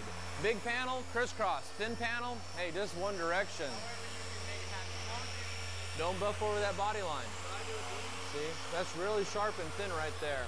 So here, go ahead and run your buffer up to it. Run your buffer up to it is the key. It's, hit my pinky. Hit my pinky. Ain't gonna hurt. Yeah, hit it. Okay, that's as far as you want to get to that angle, that, that body line there, see? There you go. Good deal.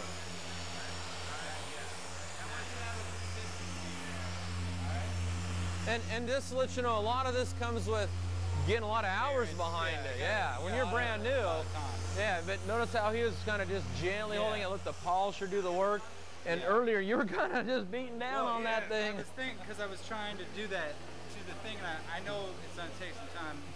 Yeah. to get- Hey, buff out 100,000 cars and you'll be a pro. Be able to get it. How do I get one of those shirts, man?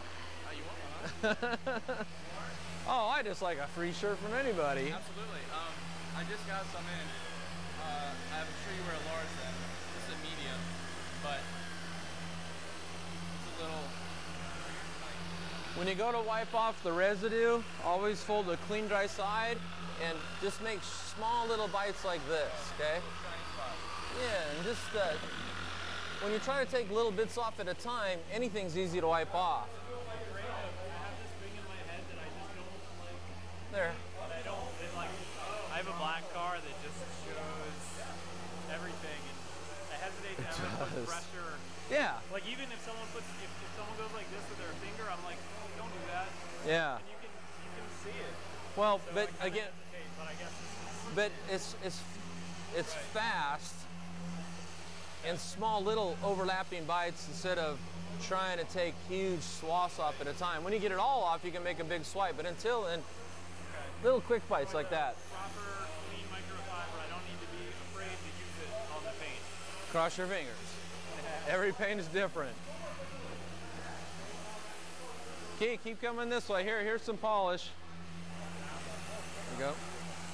It's looking good though.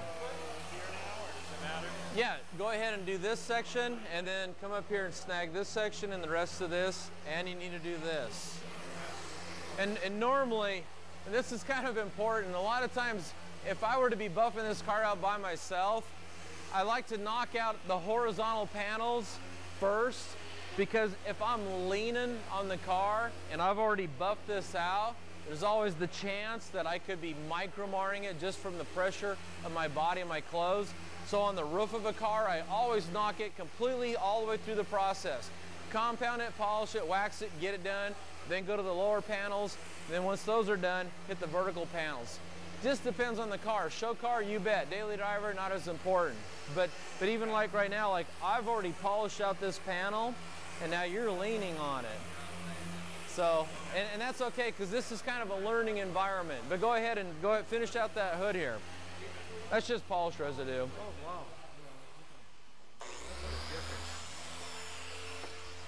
And I stopped right,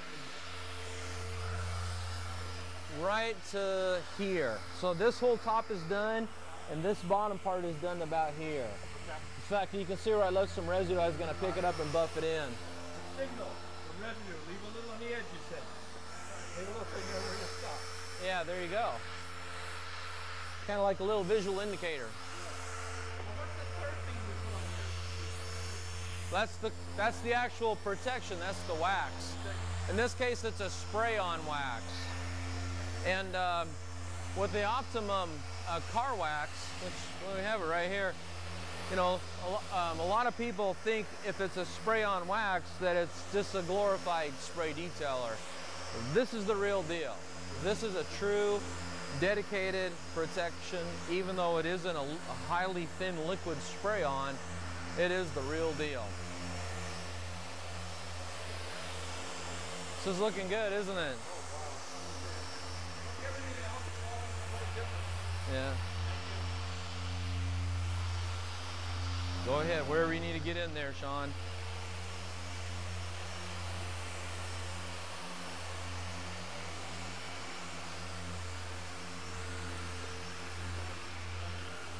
How are we doing back here, Blake? Got this area with the, the surgical. Man, this looks good. This looks really good. You know, um, now when you look at it, not only are the reflections clear, but you can see the metallic flake. It just, it does what they say on the forums. It pops, you know. But that's from getting the clear coat clear, removing all the defects out of it. That's good. Good job. How we doing over here, David? Fender's looking clear and shiny. I can see my leg. Looks like I need to polish it a little bit. It's got some residue on it. I always dull the aluminum down. If I'm cleaning wheels, I get any kind of wheel cleaner on there. It tends to dull it down. The wind blows it onto the leg.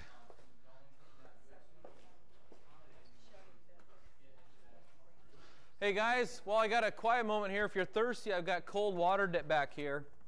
I'm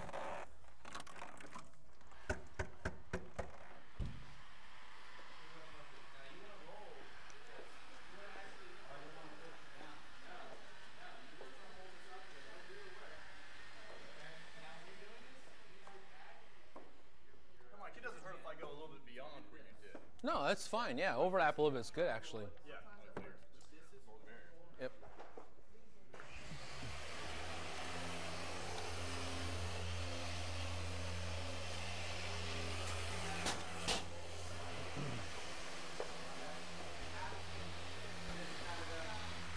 Get a little more loose with it. Like you want to be able to roll.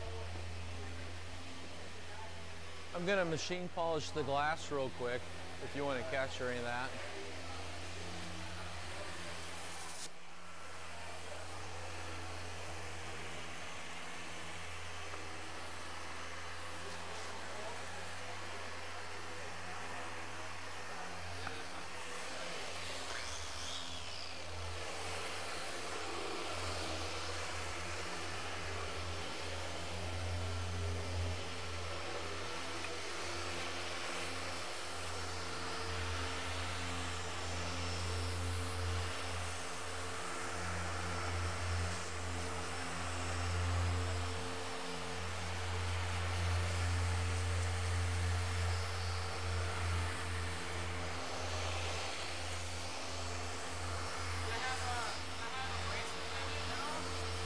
Well, not nothing dangerous. Yeah, just I think the, I think Kale and clay.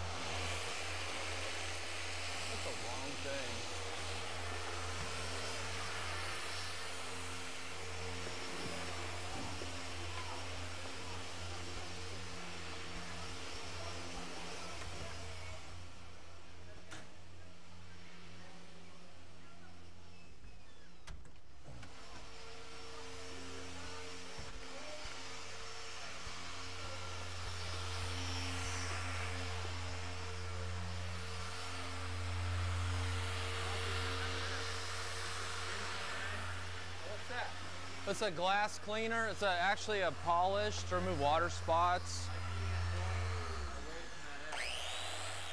And I just, I want to just try to do this by machine instead of by hand. You can do it either way.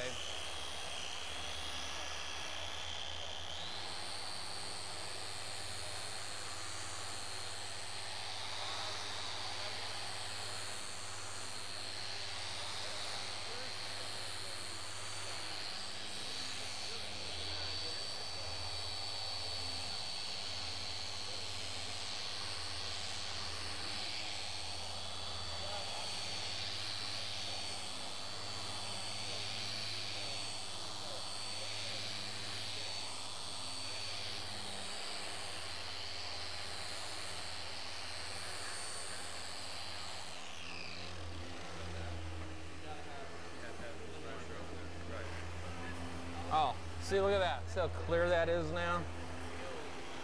You can't really put a flawless finish on a car like this on the paint and then ignore the glass. So you got to get them both.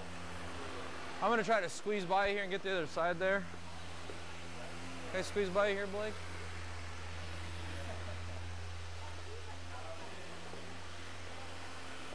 Just squeeze right by here.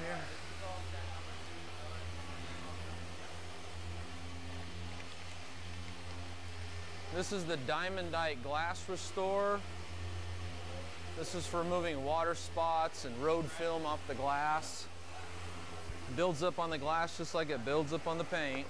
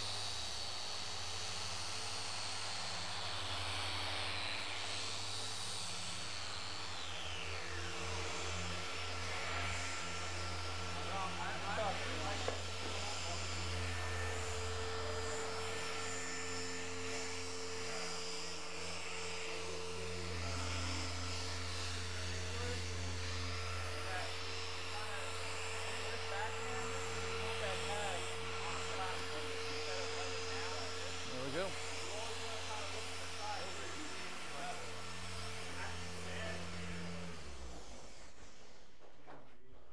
Hey guys, well there's no polishers. Where are we at? We just about done with the polishing step? From what I hear, the second steps have been done. Okay. Back's all done. Vertical panels are all done. Finishing this, I didn't. Right to there and we're done? Okay. we've already done those two. Done. Okay. Hey, you get all the attention now, Brian.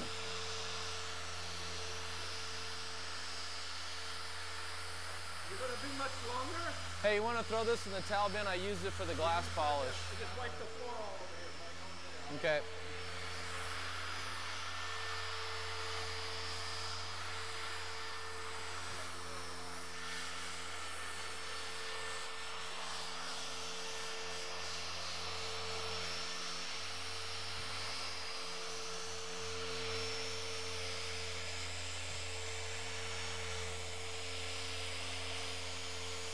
Looks good. How do you like that tool? It's a lot better than doing this, huh?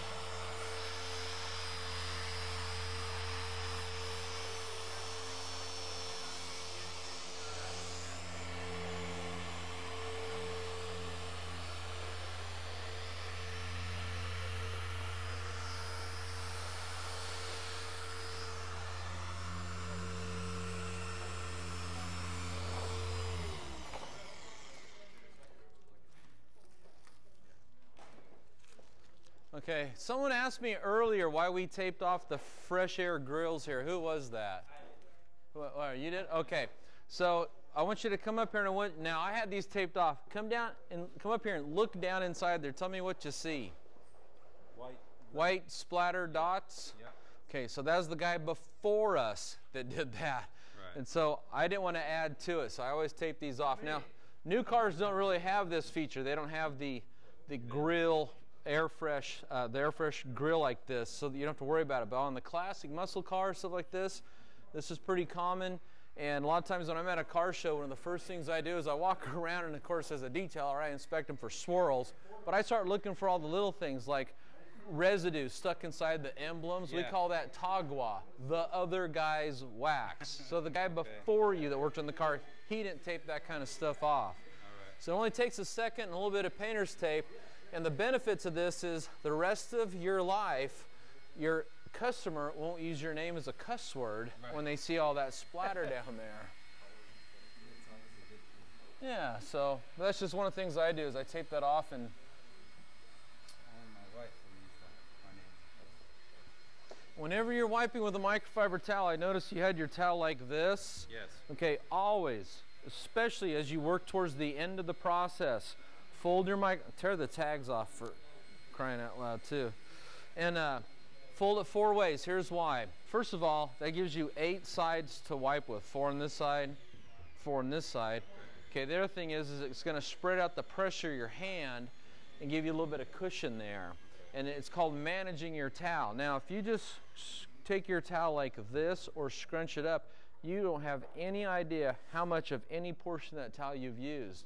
But if one by one you fold to a fresh, clean side, you've managed the towel. You're getting the most use out of the towel before you got to go put it in the bin and get a new one.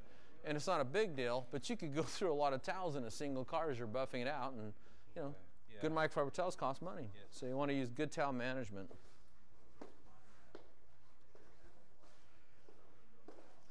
And here's a little tip. Anytime you tape something off, when you go to pull the tape off, you always want to pull it back at an angle. Never pull it straight up. Pull it back at an angle. Now, I think this car has a really high quality paint job on it, but I've seen cars with horrible paint jobs where if you weren't careful, there could have been some sort of surface adhesion issue going on. And You go pull the paint off or the tape off, you'll see the paint come off with it too. And that ain't gonna make your customer very happy either. So just pull back at an angle and pull slow. Better safe than sorry. Is there any early, is there any uh, signs that you can see that before you? Uh, experience, but you know uh, the experience part is is if you come across a car and you can tell visually that it has a horrible paint job, you might want to be letting what I call let the other guy have the blessing. Yeah. Let someone else buff it out and say, you know, I don't feel comfortable buffing out your car. You know, take it to the other guy. I always call that let the other guy have the blessing. Right. And uh, but that again, that comes with experience too. You got to buff out a couple hundred thousand cars to get to that point. And you know what? You're always going to make mistakes, and the best detailers in the world have all made mistakes because that's the only way you learn. The important thing is is to learn from your mistakes so you don't repeat them. And I always tell if I have someone that's asked me about the work I've done, I'll say I've made mistakes, and now I know what not to do to your car. And that should instill confidence in them, not worry. Hey guys, where are we at back there? We done? Okay, so what we want to do is wrap this up, and uh, let's go ahead and uh, pull off any tape that's covering anything off. There's some tape up here on the emblems. And next thing we're going to do is we're going to go ahead and apply the Optimum uh, car wax. And again, this is a spray-on wax, and um, we're going to work this in, wipe it off. We're going to kind of clean up a little bit, and we'll let Yancey come in here and get what we call the beauty shots. Yeah. Uh, that's a good question. I um, I don't think that was done. Has anybody polished this top part right here? Not compound, polish. Oh, I you. Okay, I'll knock this out real quick. I've done it once or twice. Tell you what, let me have I, the. They didn't have your car out at Petersen's. Yeah, when I went to Petersen's museum. Yeah. You know, they, you know they rotated. Oh, oh, the uh, they didn't have a, a scrape out. No. They had some beautiful cars there, but they rotated. You know, last time I was at the Petersen Museum, we got to go down into what they call the secret room, which is the basement. Okay, now when I was down there, there's a, a movie that Elvis Presley was in. It's one of the Hawaii movies. Okay, and in that movie, he drove this beatniks like a dune buggy. And if you've ever seen that movie, the chairs in that were surfboards. And there's like two or three rows of surfboards. And you see the surfboards in this really long dune buggy with the hot rod engine. And Elvis is leaving some party to get into town for whatever the emergency was. And he gets in this car and goes about two feet and it dies. That car was in the basement with the surfboard seats. The guy, when I checked in, he said, uh, if you become a member, he said, once a year they open the basement. And he said, there's like 250 cars in the basement. Probably, I don't think we saw them all. Yeah, it's pretty amazing.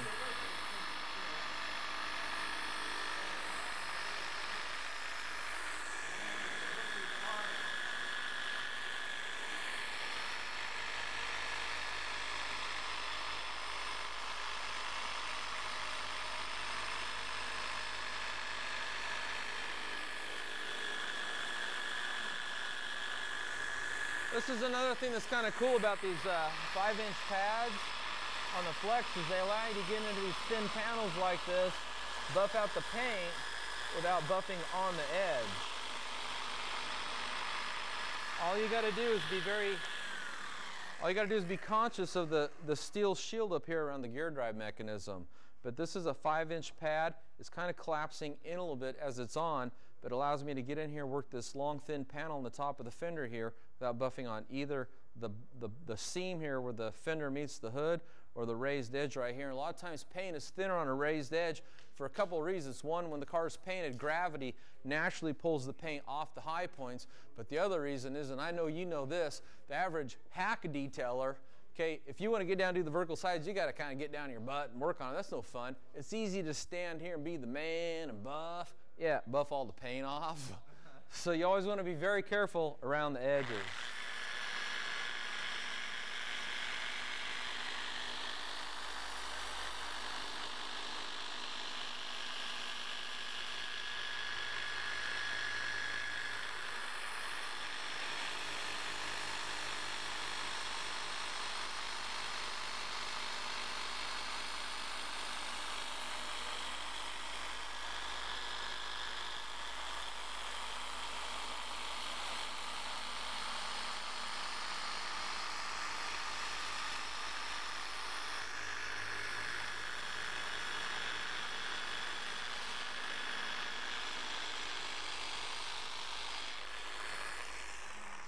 Enough. Okay, hey, can I get everybody to give me a hand? Let's grab the tools and wrap up the cords because we're done with them. And I want to show you how to wrap up the cords on these. There's a couple different ways. This is the way I prefer. Take and wrap it around the head. Get a couple wraps, throw a couple on the body, around the head, and then you can come back and kind of pull a couple wraps through the cord. If you just wrap around the body, it always just falls off. So I kind of snug it up around the head. And then the flexes go over here on the second shelf. The Griot's and the PCs go on the third shelf. And any microfiber towels at this point, let's go ahead and put those in the dirty towel bin along with any pads. Well, last thing we want to do right now is mix any kind of dirty towels onto this highly polished paint finish.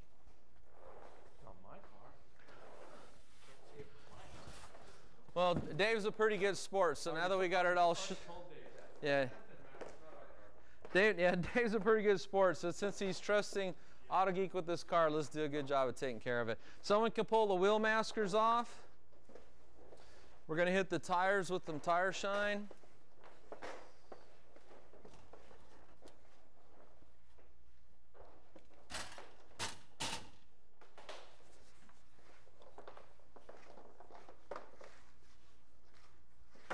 Oh, that didn't happen.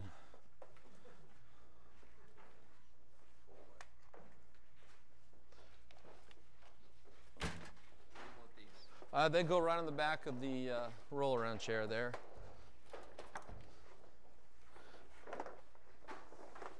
Oh, you got that one? Okay.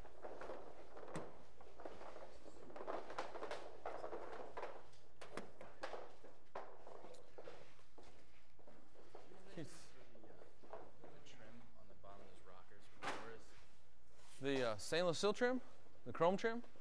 Yeah, we have the Optimum metal polish. It's hard to see when you're standing there, but stand up and look at it. It looks really hard. Usually, we have my good buddy Adam here, and I call him the metal man. What he does is he takes care of all the metal. Well, I'll take care of it. Okay. Because it's gonna help the look when you're standing back and it's near finish Yep. Start shaking that. I'll get you an applicator pad. Let's see. You know, what works best for that is usually like a microfiber applicator pad. Uh, someone's been out here raiding my drawer. Uh, yeah, just use one of those. That'll work. Okay.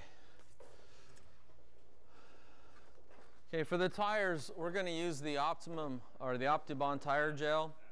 Uh, since this is kind of an Optimum po- Polymer Technologies detail, everything we've used so far, except for the diamondite that we used to machine polish the glass, uh, we're going to use on this. Tell you what I'm going to do. I'm going to go get a tire swipe because there's none out here. I'll be right back. We'll hit these tires, and then we're going to put the wax on.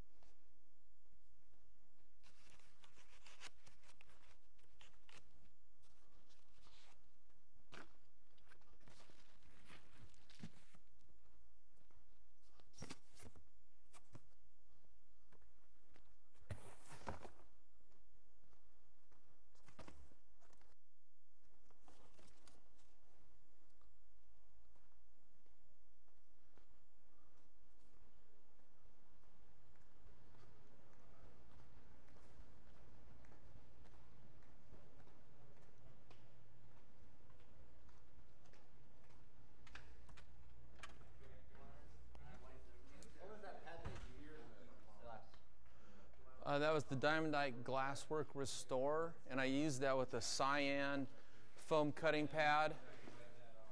Sir, how much would one of these flexes run me? I think the flexes, I, I rarely work in the sales side. I mostly work in the education training side, but I think they're around 330, 340. Want to give me a hand putting the tire dressing on? Tell you what. You take that side, I'll get this side. Have you ever used this product before? No. Yeah, it works really good. It's working really good. Take a microfiber towel to wipe any excess off. Yeah. So this will last me one tire? Yeah, well, I think you get both tires. I'd give you a little extra there. Maybe a dab a tire. Yes, sir. Oh, okay. Gosh, thank you so much for coming down. And um, no, you did a great job. Man, these look great. The interior looks good, and uh, I'll get some high-res pictures of this and put on the forum. Thanks for coming down. Next time, I hope you can bring your son, and we'll plan on doing your uh, Cadillac CTS down the road then. Okay. Thank you so much, David. Have a good evening. Go ahead and use that bronze one. Just knock that right off there. Moving that, that, uh,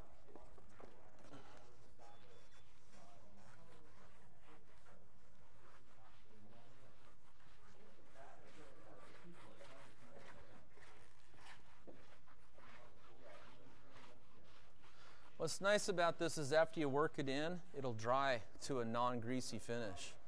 You know, so it doesn't collect all the dust as you're driving.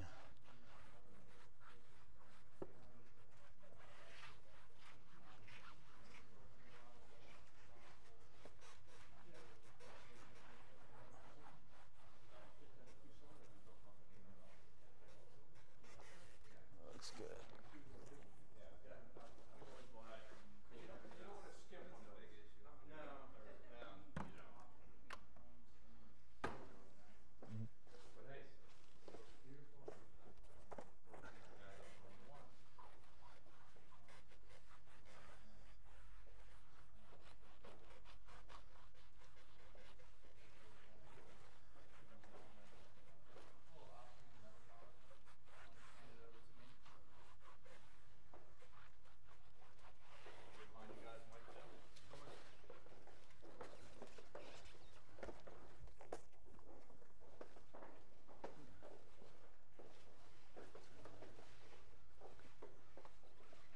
Yeah, Did I see that? That has black on it from the tires. So, yeah.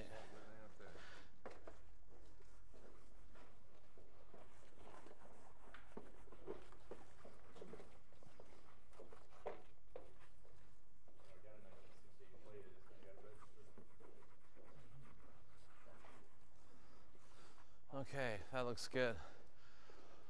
Okay, um, let's go ahead. Let me get a couple volunteers. Who wants to use the spray wax? Help me wax this car.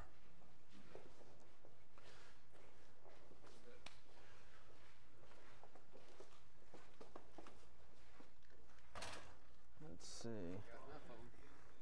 Tell you what, let's use these. I just washed these and I inspected them so they're nice and clean. There you go. Uh, this is a nice flat weave, and I guess one of the things I like about a nice flat weave is, okay, I just washed these and dried these, and you can lay them down and easily see or feel if there's any kind of contaminants. Where if you have something with a big plush nap, a lot of times you can't see if there's anything embedded into it. So right now, I mean, if you look at this paint, this thing's just glistening. Last thing we want to do is scratch it. So take and fold it four ways. Okay, then take the side that you're looking at and make sure everything's perfect about it. Would you like one too there, sir, since your car? Okay, and then what we're going to do is we're going to apply this. And if you look over there, I have some brand new, and these are our rolled edge um, microfiber towels. They're very, very, very plush. After you spread the wax out, work it in a little bit, then carefully and gently wipe it off. And for the hand you're wiping with, here's your microfiber glove, here's your towel. Put the glove on, helps you grip the towel. So it's kind of a karate kid kind of thing. Wax on, wax off. Grab a towel. Hey, David? Yes, sir. Go here and get your towel and your microfiber glove. Here you go, buddy. Hey, I don't want to let this touch anything. It's a virgin clean. There you go. There's your wax side, application side. Same thing when you go to use this to wipe the wax off. I want you to fold it so the fluffy side is out and then put your microfiber glove on and just gently wipe it off. So usually what I do is I do this, throw this on my shoulder till I'm ready to wipe some off. You got a spray wax there. Is there another one over there? It says car wax on it? Okay, grab that. Okay. Yeah, just let me go over the technique. It's real simple, but just since we're making a video and there's people out there from around the world watching, um, set this on the spray, not the stream. Always shake this really good before you use it. Any liquid that stands on a shelf somewhere before you use it should always give it a good shake. And as you're working on the car, continue keeping it shake so you have a complete uniform mixed liquid there. All you want to do is just mist this on. What I'll tend to do is just use the one side that I start with because once it becomes damp, it's going to make it easier to spread this out than just taking, oops, spread this out. And you're not just spreading it out, you're also trying to work it in a little bit. Now, if you could see paint under a microscope, you'd see that even though to our eyes, this looks all completely uh, clear and smooth. Here, hold on to that. That um, under microscope, it has pits and pores, hills and valleys, and what you call interstices, little microscopic cracks and fissures. So after you spread it out, then just come back and just real lightly polish any streaks or smears or excess residue off. Then just continue around, just like that. Try not to spray it down into the grill or into an emblem, so spray it around it. There you go. Then again, use the side you started with and just continue just to work that in. Yeah, you probably wouldn't see it at all, especially on a light colored car. And, and that's another reason to focus on the task at hand. That's why detailers, a good detailer, the, is paid the big bucks because focusing on the task at hand comes second nature to them. I don't know, David, what do you think? How's that look? Wow. Man, look at this. It's totally clear, totally glossy. It's one of the things people ask me on the forum all the time is they're trying to get the most out of their paint whatever it is, a white car, black car, red car, there's basically two goals. Who's got some spray wax? There's two goals. You want to get the paint as clear as you can and as smooth as you can, okay? And uh, when people, especially like this, this is a metallic finish. So people on the forum world, they always talk about getting the metallic to pop. And a lot of people think it's the wax they use, but actually, the whole goal, if you're working on a clear coat, is to get as many of the defects out of the clear layer as you can because if you abrade, if we took and abraded this clear layer, a scratch in a clear layer just on glass isn't clear, it's opaque. So the more scratches you have on here, the more opaque the top coat is. It blocks your view of the paint and the metallic flake underneath of it. If you remove all the defects and clear it up, and then remember that at the very beginning we clayed it and got it smooth, that makes gloss. So the goal for any car finish is to get it as smooth as you can and as clear as you can. And then when you put the wax on, that's like frosting on the cake. It'll take all your hard work to a little bit higher level, plus give it a uniform appearance and protect it from whatever might attack it. So, okay, get to work. You guys are all just standing around here while I talk. Here you go. Who, who needs a? Well, I only have four guys putting this on. They got the white towels. Okay, I'll let you do it. Spread that out. The rest of us can help just wipe it off then. Over more of those nice green, those fluffy green ones? Over there. And I always wash all these separate. So if, try not to drop the green ones on the ground. I keep these, yeah, I keep these all uh, for just all the show car work we do down here because the edges are rolled so everything's nice and soft.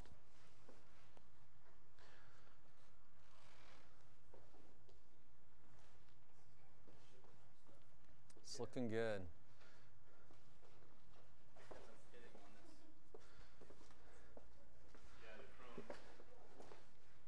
You know, sometimes when we do these projects down here, I feel like Tom Sawyer and whitewashing the picket fence, you know.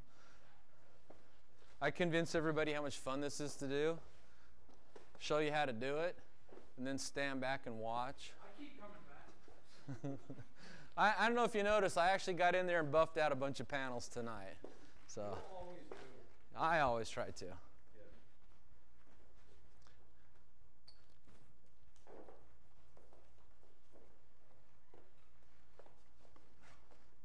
So if you've never used the microfiber glove, the guys using them, does it, do you find that helps you to actually grip that microfiber?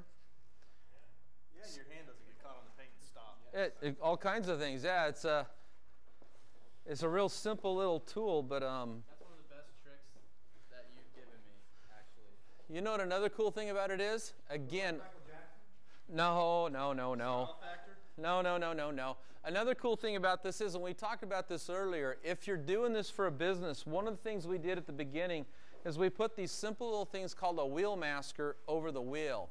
Now, what this does is if you're using a rotary buffer or even one of the other polishers and somehow you maybe lift it away from the paint, you could throw splatter all over the rubber or into the spokes of the wheel. Now you got to stop, come back, clean all that up. You put the wheel masker on, you don't got to worry about it. But there's another benefit to it. If every time you work on a car and you're a mobile detailer and you're doing all these little things, like putting the wheel maskers on, people walking by, you got your sandwich board, you got some kind of signage, people coming by looking at what you're doing, they see your level of carefulness, your level of expertise, your level of professionalism. When they see you wiping off someone's car and you've got a little microfiber glove and you're down here and everything's just looking beautiful, they're going to understand that you actually know what you're doing. And every detailer they see that doesn't do these types of things, well, they're going to compare them to you. And guess who's going to have the better reputation? You are. So just sometimes, I always tell people that sometimes it's the little things that are the big things. I know for a fact, all the years I've been detailing cars, I can take and get something like this completely perfect. And the first thing the owner will do is walk in and go, well, I don't know, there's a little tiny problem right here. He avoids the whole big picture. He finds the one little thing. You know, so you gotta, that's why at the end of the detail, here's what you do. You've been looking at this car for eight hours. You find your buddy, your friend, your fiance, your wife, and you have them look at it. They come at it maybe from a different angle, a different point of view, and all of a sudden go, hey, you missed some wax right there. You might have just missed it. You're tired. You're at a different angle. You're taller than them. So have someone else come in and look at it and have a fresh set of eyes, and sometimes they can find those little things that you might miss. Another good thing to do is also pull the car out into the sun, get into another lighting condition, walk around it, and view it from different angles. And a lot of times, if you miss anything like compound, polish, or wax residue, then you can see it and then you can wipe it off. You can't wipe it off until you see it though.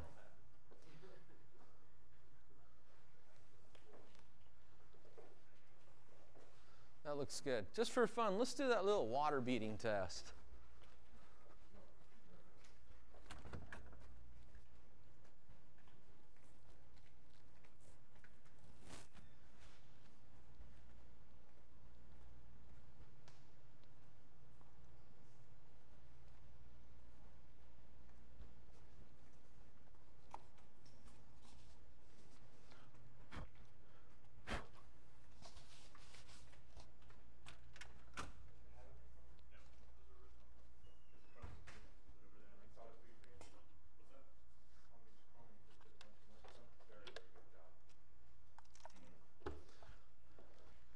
Everything wiped off? David, could I get you to put the windows all the way down now? I think this door, did you hit it with the green? Okay, so we've completely. Oh, go ahead.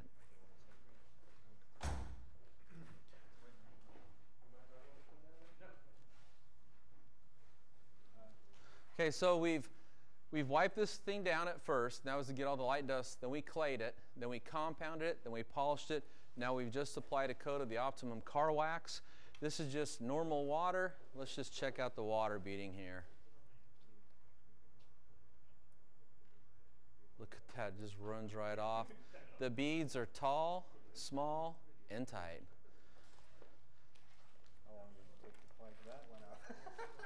I figured that one out years ago when I was posting a lot on another forum.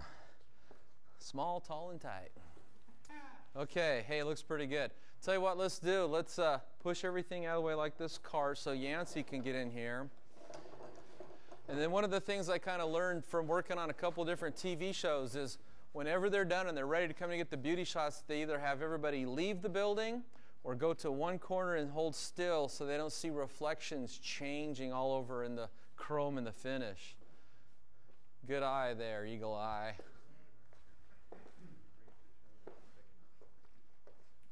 Came out nice. We should put the boot back on it real quick. How hard is that? We have to do it by hand? Want to set this over there for me? Don't put them in with the dirty towels because I, I keep those clean and wash them separately. Uh, y- no, the white ones can go in there. It's just them brand new ones that I, I try to keep really nice so we get a lot of use out of them.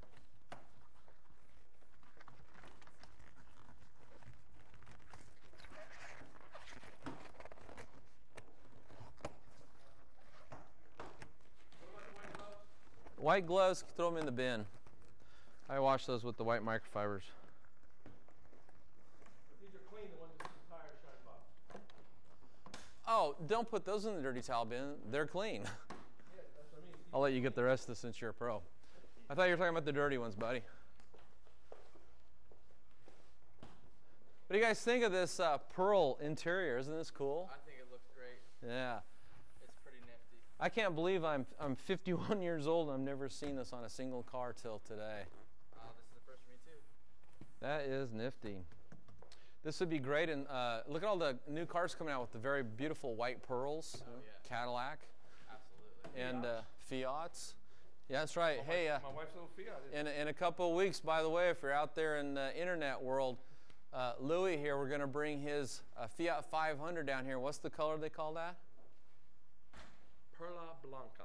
Perla Blanca. Which is white pearl. Yeah, so we're going to bring down a Fiat 500 white pearl. We're going to machine polish it, and we're going to do something very special with that. So you want to make sure you tune in. That's actually a new boot. we change it to an Abarth? Cannot tell all the secrets that are going to take place down here in the future, pal. Okay, are we all done? Let's back away from the car and let Yancey come in and get the beauty shots.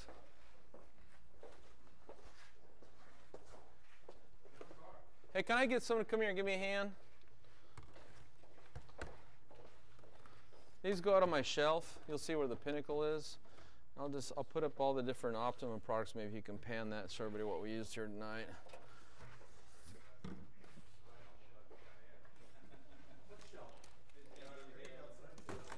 Right outside, right outside the door is my inventory shelves.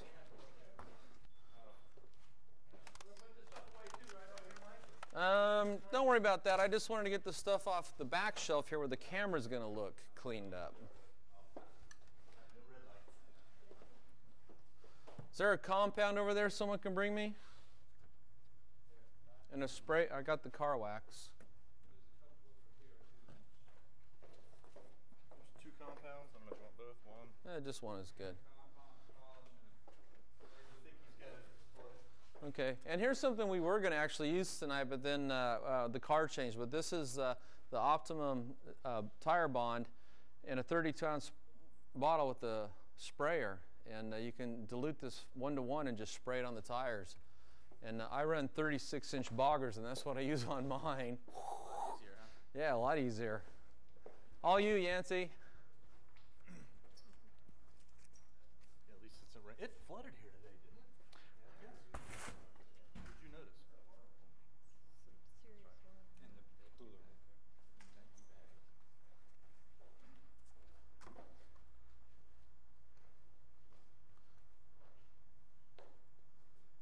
And the crowd goes quiet. It's in awe. It's just amazing every time, every time you come here, it's like this afterwards. You know, you, you look and you go, wow. Well, I actually can't remember any car that showed up here that didn't leave looking like this to date, so knock on paint. But the cool thing right now is uh, watching Yancey do his magic. Now, recently we put up a video called the uh, CR Spotless Water Deionization Water Filtration System. And uh, me and Yancey shot that video about three or four weeks ago. And uh, I started a thread on the forum just to kind of bring attention to the actual style and quality of the video because I think it's one of the best videos he's ever made, and he's completely self-taught.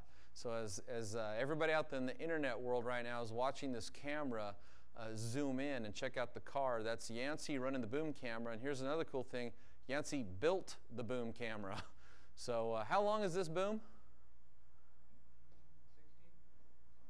The 16 footer. And I'll take a picture of it, and you can find this on the thread where we put the video and all the pictures so you can see Yancey at his craft here.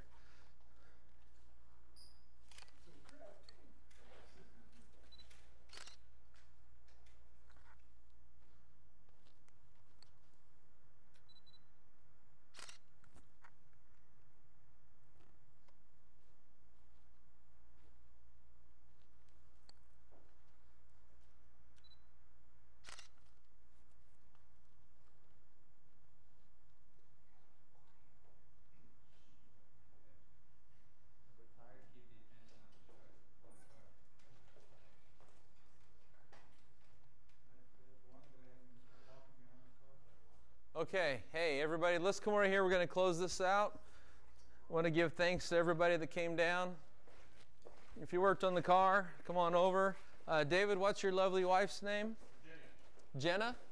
Virginia. Virginia, if you like, you can be in this too. Your 15 minutes of fame. So, and you get to drive this, don't you? Isn't that cool? David does all the hard work and you get all the fun. Okay, so just to kind of recap, this car came in, and uh, I wouldn't say it's the worst car I've ever worked on. I mean, I've worked on a lot of bad cars, but I did document very thoroughly with the high resolution camera the swirls that were in the paint. I also took a video of this, and this can all be found on uh, youtube.com slash autogeek. That's the Autogeek uh, YouTube channel. We brought it in, uh, we inspected the finish, we wiped it all down, got any loose dust off. Of course, this is a garage kept all the time, right? So it's not like it's sitting outside and need to be washed. Then we clayed it, removed all the above surface bond contaminants. Now, who here clayed for the first time tonight? Adam and, you, and, and David. And that was pretty easy procedure, wasn't it? Yes. So get in there and clay, and of course that removes all the above surface bond contaminants. That restores gloss instantly because it removes surface texture, and it enables any car wax, paint, or coating that you would apply to stick better with the paint because now the contaminants are out of the way. After that, Adam and Brian, raise your hand, Brian and Adam. Um, I taught both these guys how to use the uh, Griot's Garage, what's called the 6-inch random orbital polisher. Actually, we just generically call it a DA polisher. And also the Flex 3401, which is also a DA polisher, but it's a forced rotation DA polisher. And you guys both found those fairly easy to use? Yes. Adam, which one did you kind of gravitate towards the most? The DA polisher? The, the Flex? yeah. Okay, the 3401 is what we call It's that. definitely gonna take some practice to get to get the arts, the Yes. on how to how to use it, but that's the one that I I felt more comfortable with, with the results. Yeah, and, and a lot of times when I recommend to guys is, you know, don't start out buffing out like black Lamborghinis and Vipers. Start out buffing out a Ford Taurus and a Ford Fusion and get get some time behind the belt behind that buffer. Then start to move up to the show car work. Now, Brian, how did, which one did you like using? Um, I think the flex took more focus, uh, but I think I, I like the feel of that better. Okay. And, and basically, what's kind of cool is coming down here at Autogeek is you get a chance to try all the different tools, see which one you like better. Anyway, so after we went through a lesson on how to do what's called a section pass, and every time you buff out a car, buffing out an entire car is just a matter of looking at the car in a specific body style, uh, uh, in your mind's eye, dividing it up into smaller sections, then buffing out one section. When you get finished it, move on to a new section, overlap a little bit into the previous section until you've buffed out the entire car with the first product. In this case, we use the Optimum Hyper Compound with a foam polishing pad, not even a cutting pad, just a polishing pad, because in my test spot, I found that I was able to get the swirls and scratches out without having to get that aggressive.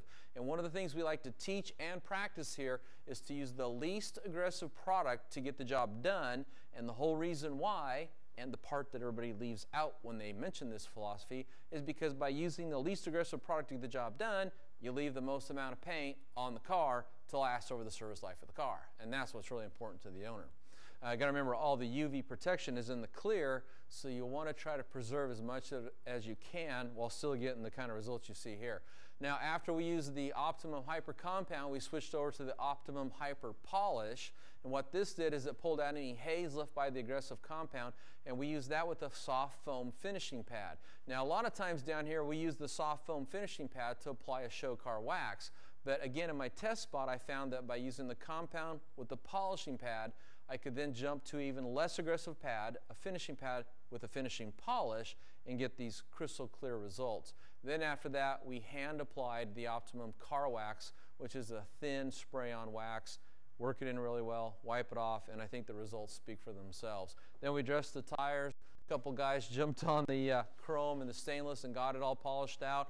We hit the uh, glass with the Diamondite Glasswork Restore. For that, I used the Porter cable with a 4-inch Hydro-Tech cyan cutting pad. That pulled off any water spots and road grime. But just so you know, in case you never lived in a state that rains a lot, road grime is when you're driving down the road and all the cars in front of you are throwing splatter onto your car. Now that splatter isn't just water, that's every car drips a little oil when it gets older or brake fluid or transmission fluid. And every car going down the road, if it just leaves a few drops here and there over a period of time, that's quite a bit of oily film on there. When the rain hits it and the car in front of you kicks that up, that coats your paint and your glass. So once in a while, it's a good idea to polish up the glass and get not only the water spots off, but that road grime film that builds up. And then we use the Optimum Power Clean on the interior here to remove any grime, any dirt buildup, and then we hit that with the Optimum Leather Conditioner and Protectant, which states on the bottle can also be used for vinyl. And since we try to keep this an Optimum uh, detailing project, we went ahead and used that for the interior. And that's it. And I would like to especially thank everybody that came down. We have Sean Kelly. And what's the name of your detailing business? Uh, it's actually Gtechniq Florida and also Premier Detailing and Coating. Okay, so and how long have you been doing that? Uh, just under seven years. Okay, but very successful. And this Absolutely. This guy's an artist behind the rotary buffer and any machine you put in his hands. And I completely trust him with anything down here. And this is uh, one of your employees or partners here, uh, Blake. One of my partners, Blake, who just came out here to get a little more knowledge on uh, a few of the machines and stuff like that, because he's kind of new to this whole thing. So he's uh, trainable though. Yeah, no, he, well, he very well, very much well was. And I watched him back here, and he knocked out the back whole section of that car, at the top and the vertical panels, and did a very, very good job. And I also watched, watched him; he's being very careful the whole time. Now we have the lovely Virginia. Virginia, and uh, you're the one that just gets to drive the car. That's right. Then we got David. David, thank you for trusting Autogeek to bring down your very nice toy. Hey, just for fun, what do you think if you were to put this up for sale? What do you think the market value, or or what is the lowest dollar you would take for something like this before you'd part with it? At least 50. At least, I, I'd say that, yeah. At least. Well, it's very beautiful. Hopefully, we'll get a chance to see it back, but only just because we need a beautiful car, not because we got to work on it. okay, then Adam, you came down because you're just starting out detailing, correct? Yes, sir. Okay, so tonight was the first time you'd ever clayed and machine polished. Yes, sir. Okay, did you learn a lot? Oh yeah. Okay, so you got a machine compound, machine polish, I got wax. A lot, a lot to learn. That's okay. hey, we all started somewhere, and, and uh, t- this is a good place to, to get the, the foundational basics down, and we hope to see you back here in the future. Now, Louis, Louis down here, he's got his little shirt here, Gear Life, which is a great name. And do you own gearlife.com or gearlifegarage.com? Dot .com. You can go up there and get one of your shirts, can't you? and he gave me one, but you can go buy one if you want one. Uh, thank you. And my stickers. And, and your stickers. But anyway, uh, Louis is a true car guy. Uh, we had his um, his 1986 Porsche 928 on our show, our TV show. That's the one with the V aluminum cooled or water cooled aluminum V8 in the front of the Porsche, which is an anathema to most Porsche owners. It's my personal favorite Porsche though because it's got a V8 in the front of the car. But uh, he came down, and uh, in, in a couple weeks you're going to bring down your Fiat 500, and we're going to do something very special for that.